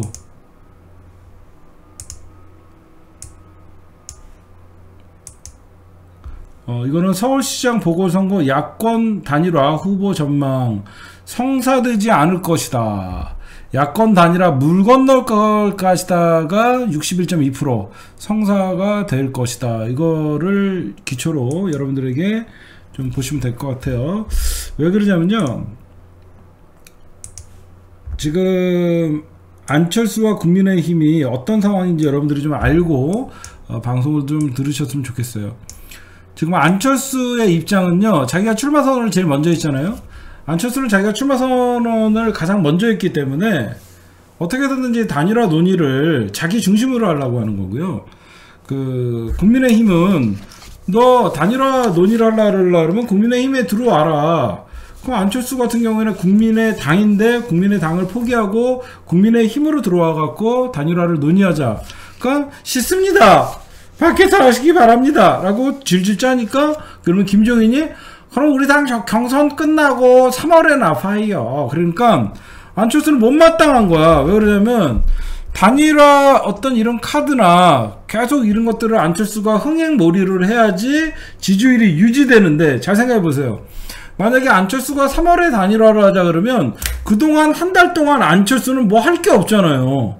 자기는 벌써 출마 선언을 했고 그렇다고 여기저기서 안철수에게 스포트라이트가 가는 게 아닌데 지금 안철수는 지금 단일화를 논의하자는 거예요. 왜 그러냐면 지금 자기가 지지율이 좀 높았을 때 단일화를 논의를 해야지 아무래도 좀 흥행도 되고 그러는데 지금 지금 국민의힘 같은 경우에는 우리 당 경선이 먼저다. 그냥 네가 알아서 너는 선거운동 하고 있어 그러니까 그 누가 안철수를 쳐다보겠어요. 그러니까 안철수는 시간이 없는 거니까 계속 어, 김종인은 어, 안철수의 현상은 시간이 지나면 꺼질 수밖에 없다라고 생각하고 그 안철수 안철수한테는 국민의당의 당적을 포기하고 국민의 힘에 들어와서 어떤 그 경선을 해라.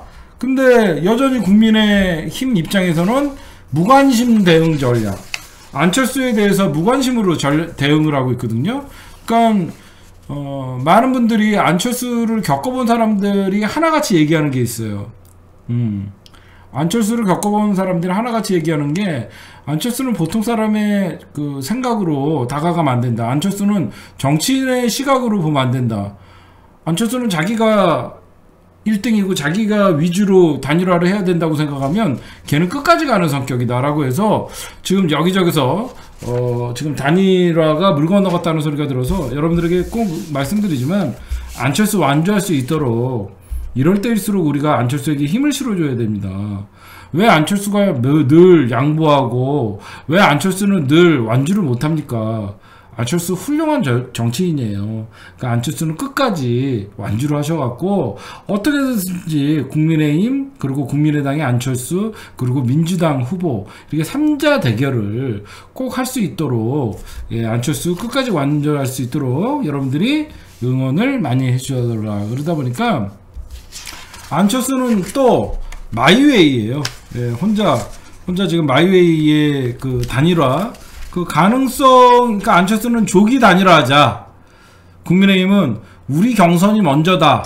그러니까 안철수 그러면 내 마음대로 하겠습니다. 그러니까 벌써 국민의힘은 자기네 당 공당이잖아요. 야당이고 어, 죄송합니다. 국민의당 국민의힘을 제가 공당 방금 공당이라고 얘기했나요? 예, 죄송합니다. 외당입니다. 외당 토착 외당 토해당이죠.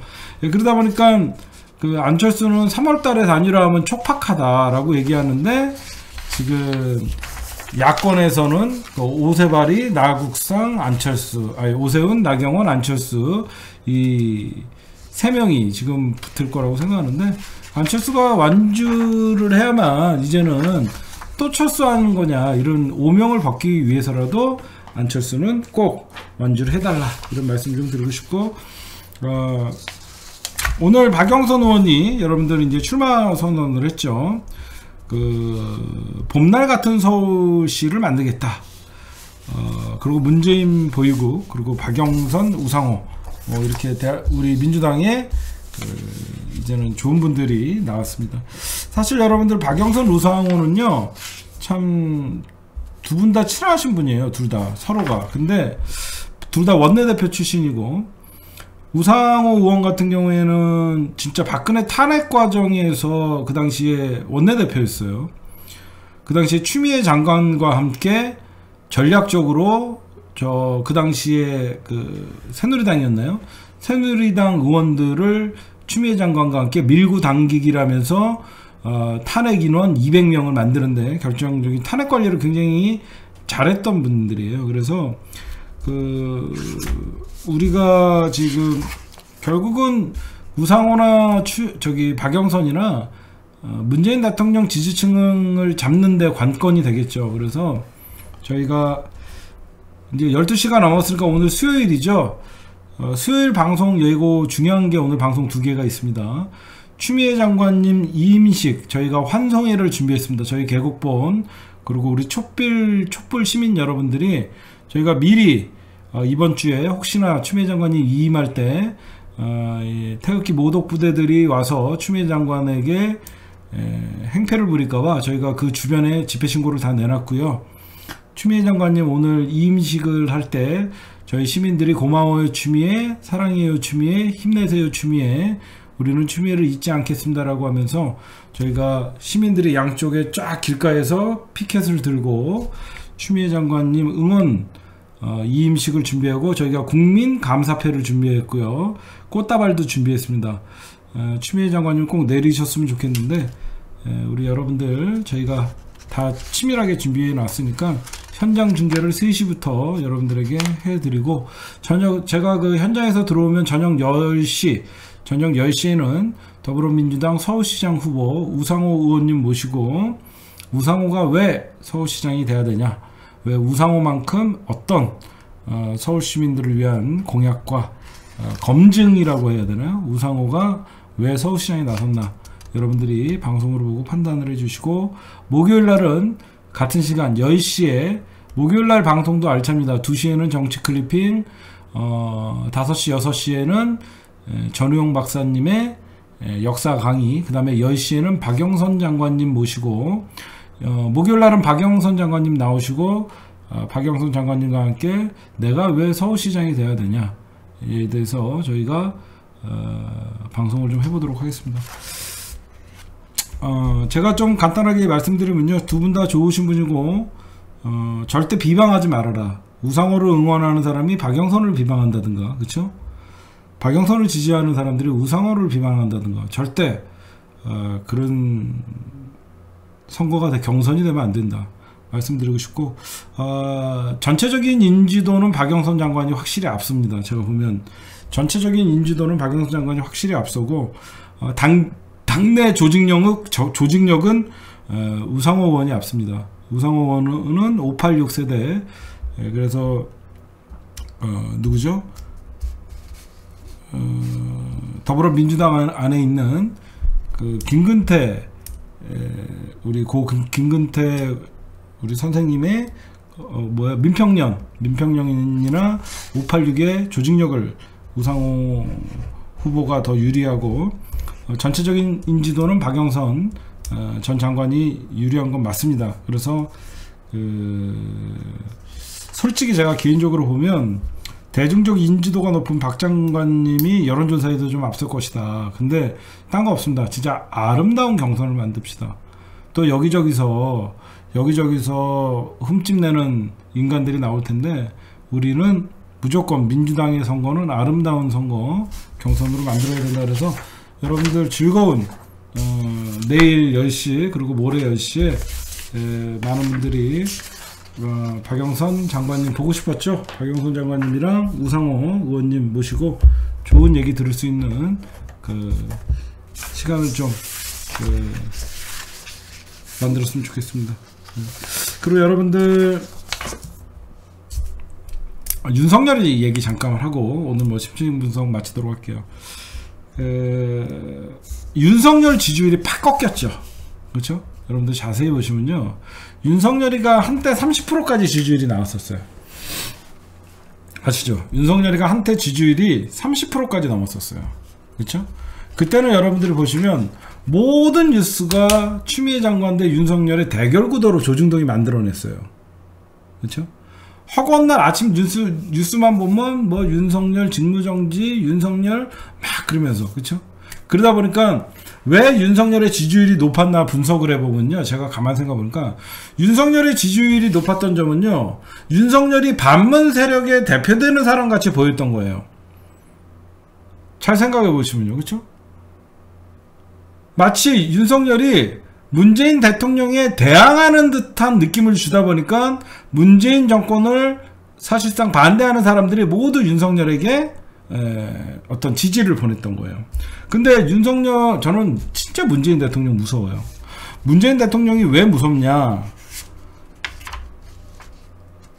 윤석열 요번에 어, 신년 기자회견에서 문재인 정부의 검찰총장이다라고 하면서 윤 총장을 반대 세력이 아닌 어, 문, 윤석열 총장은 어, 정치할 생각을 하면서 지금 검찰총장의 역할을 수행하고 있다고 저는 생각하지 않습니다.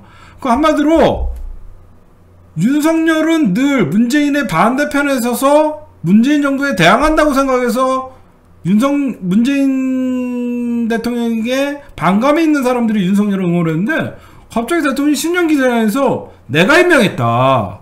윤석열은 우리 편이다. 라고 해버리니까 지지율이 15% 반토막 나버렸어요. 반토막. 지지율이 반토막 나버렸어요. 응?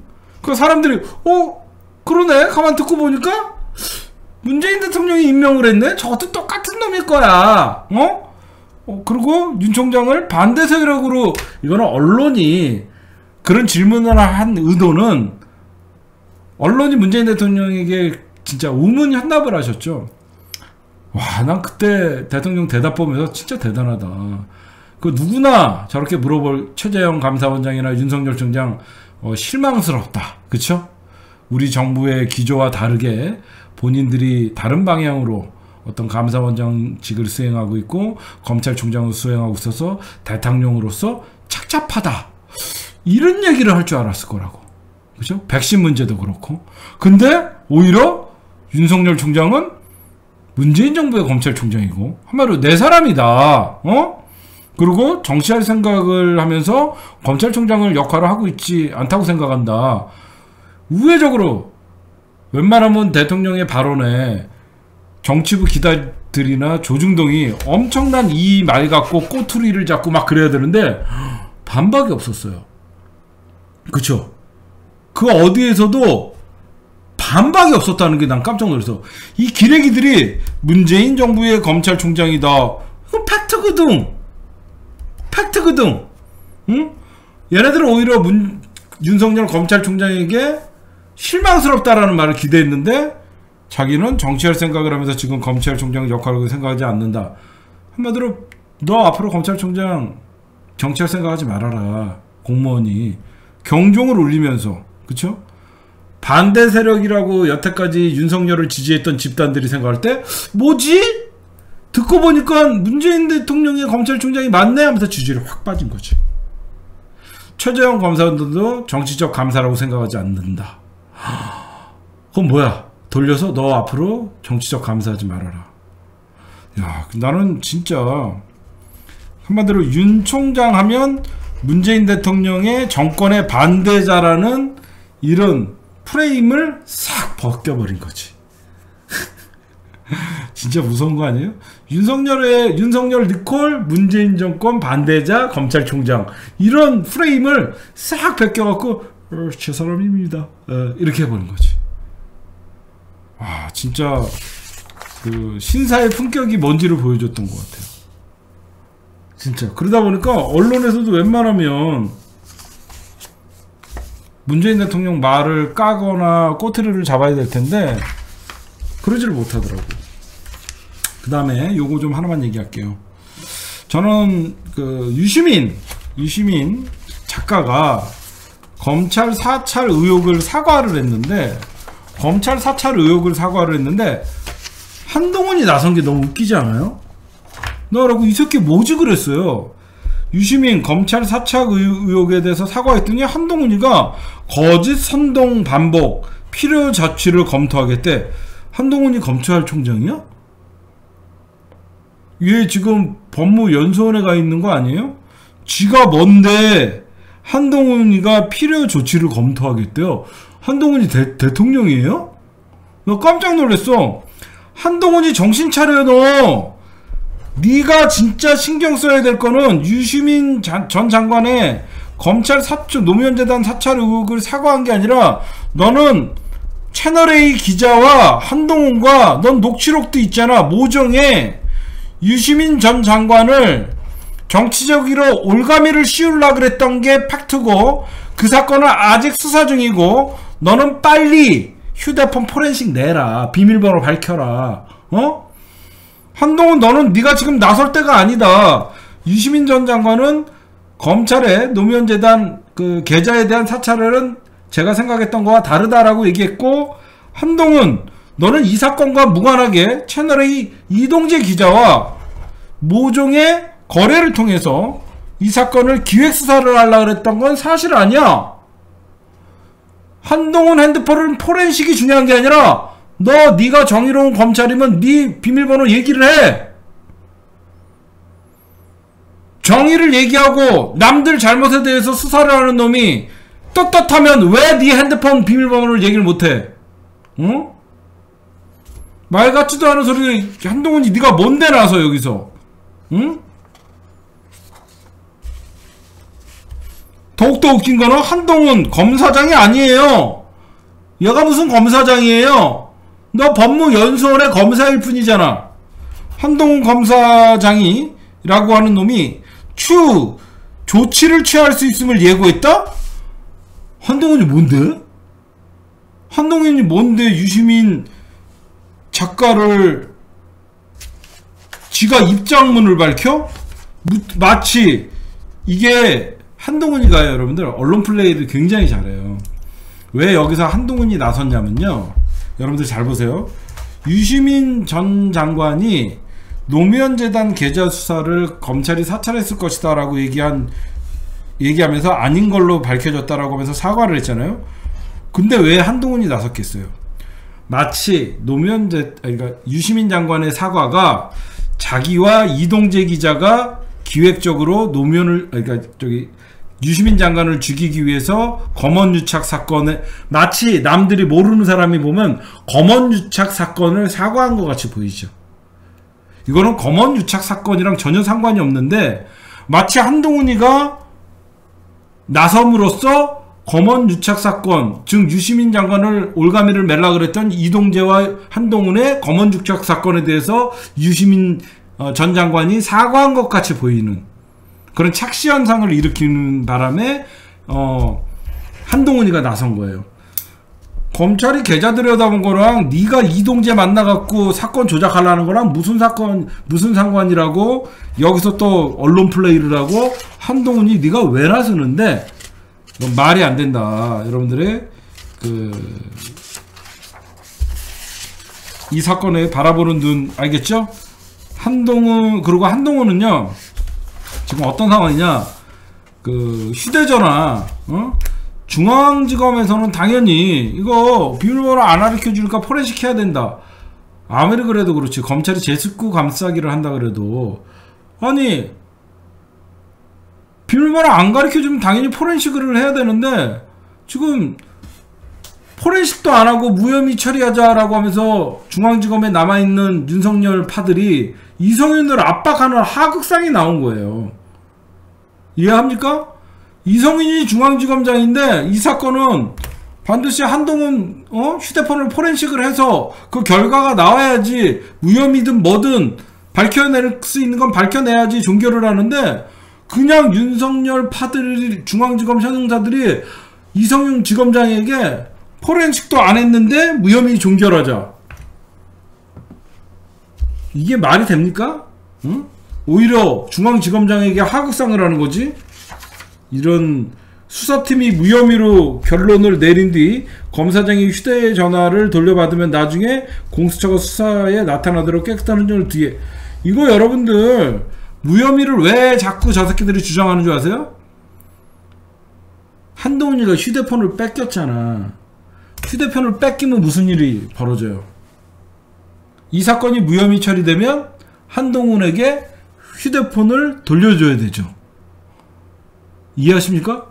왜 중앙지검에서 자꾸 이거를 무혐의 처리하려고 그러냐면 무혐의 나오는 순간 휴대폰을 다시 한동훈에게 돌려줘야 되면 한동훈은 돌려받은 휴대폰을 파기하던가 모든 증거를 없애버릴 수 있겠죠.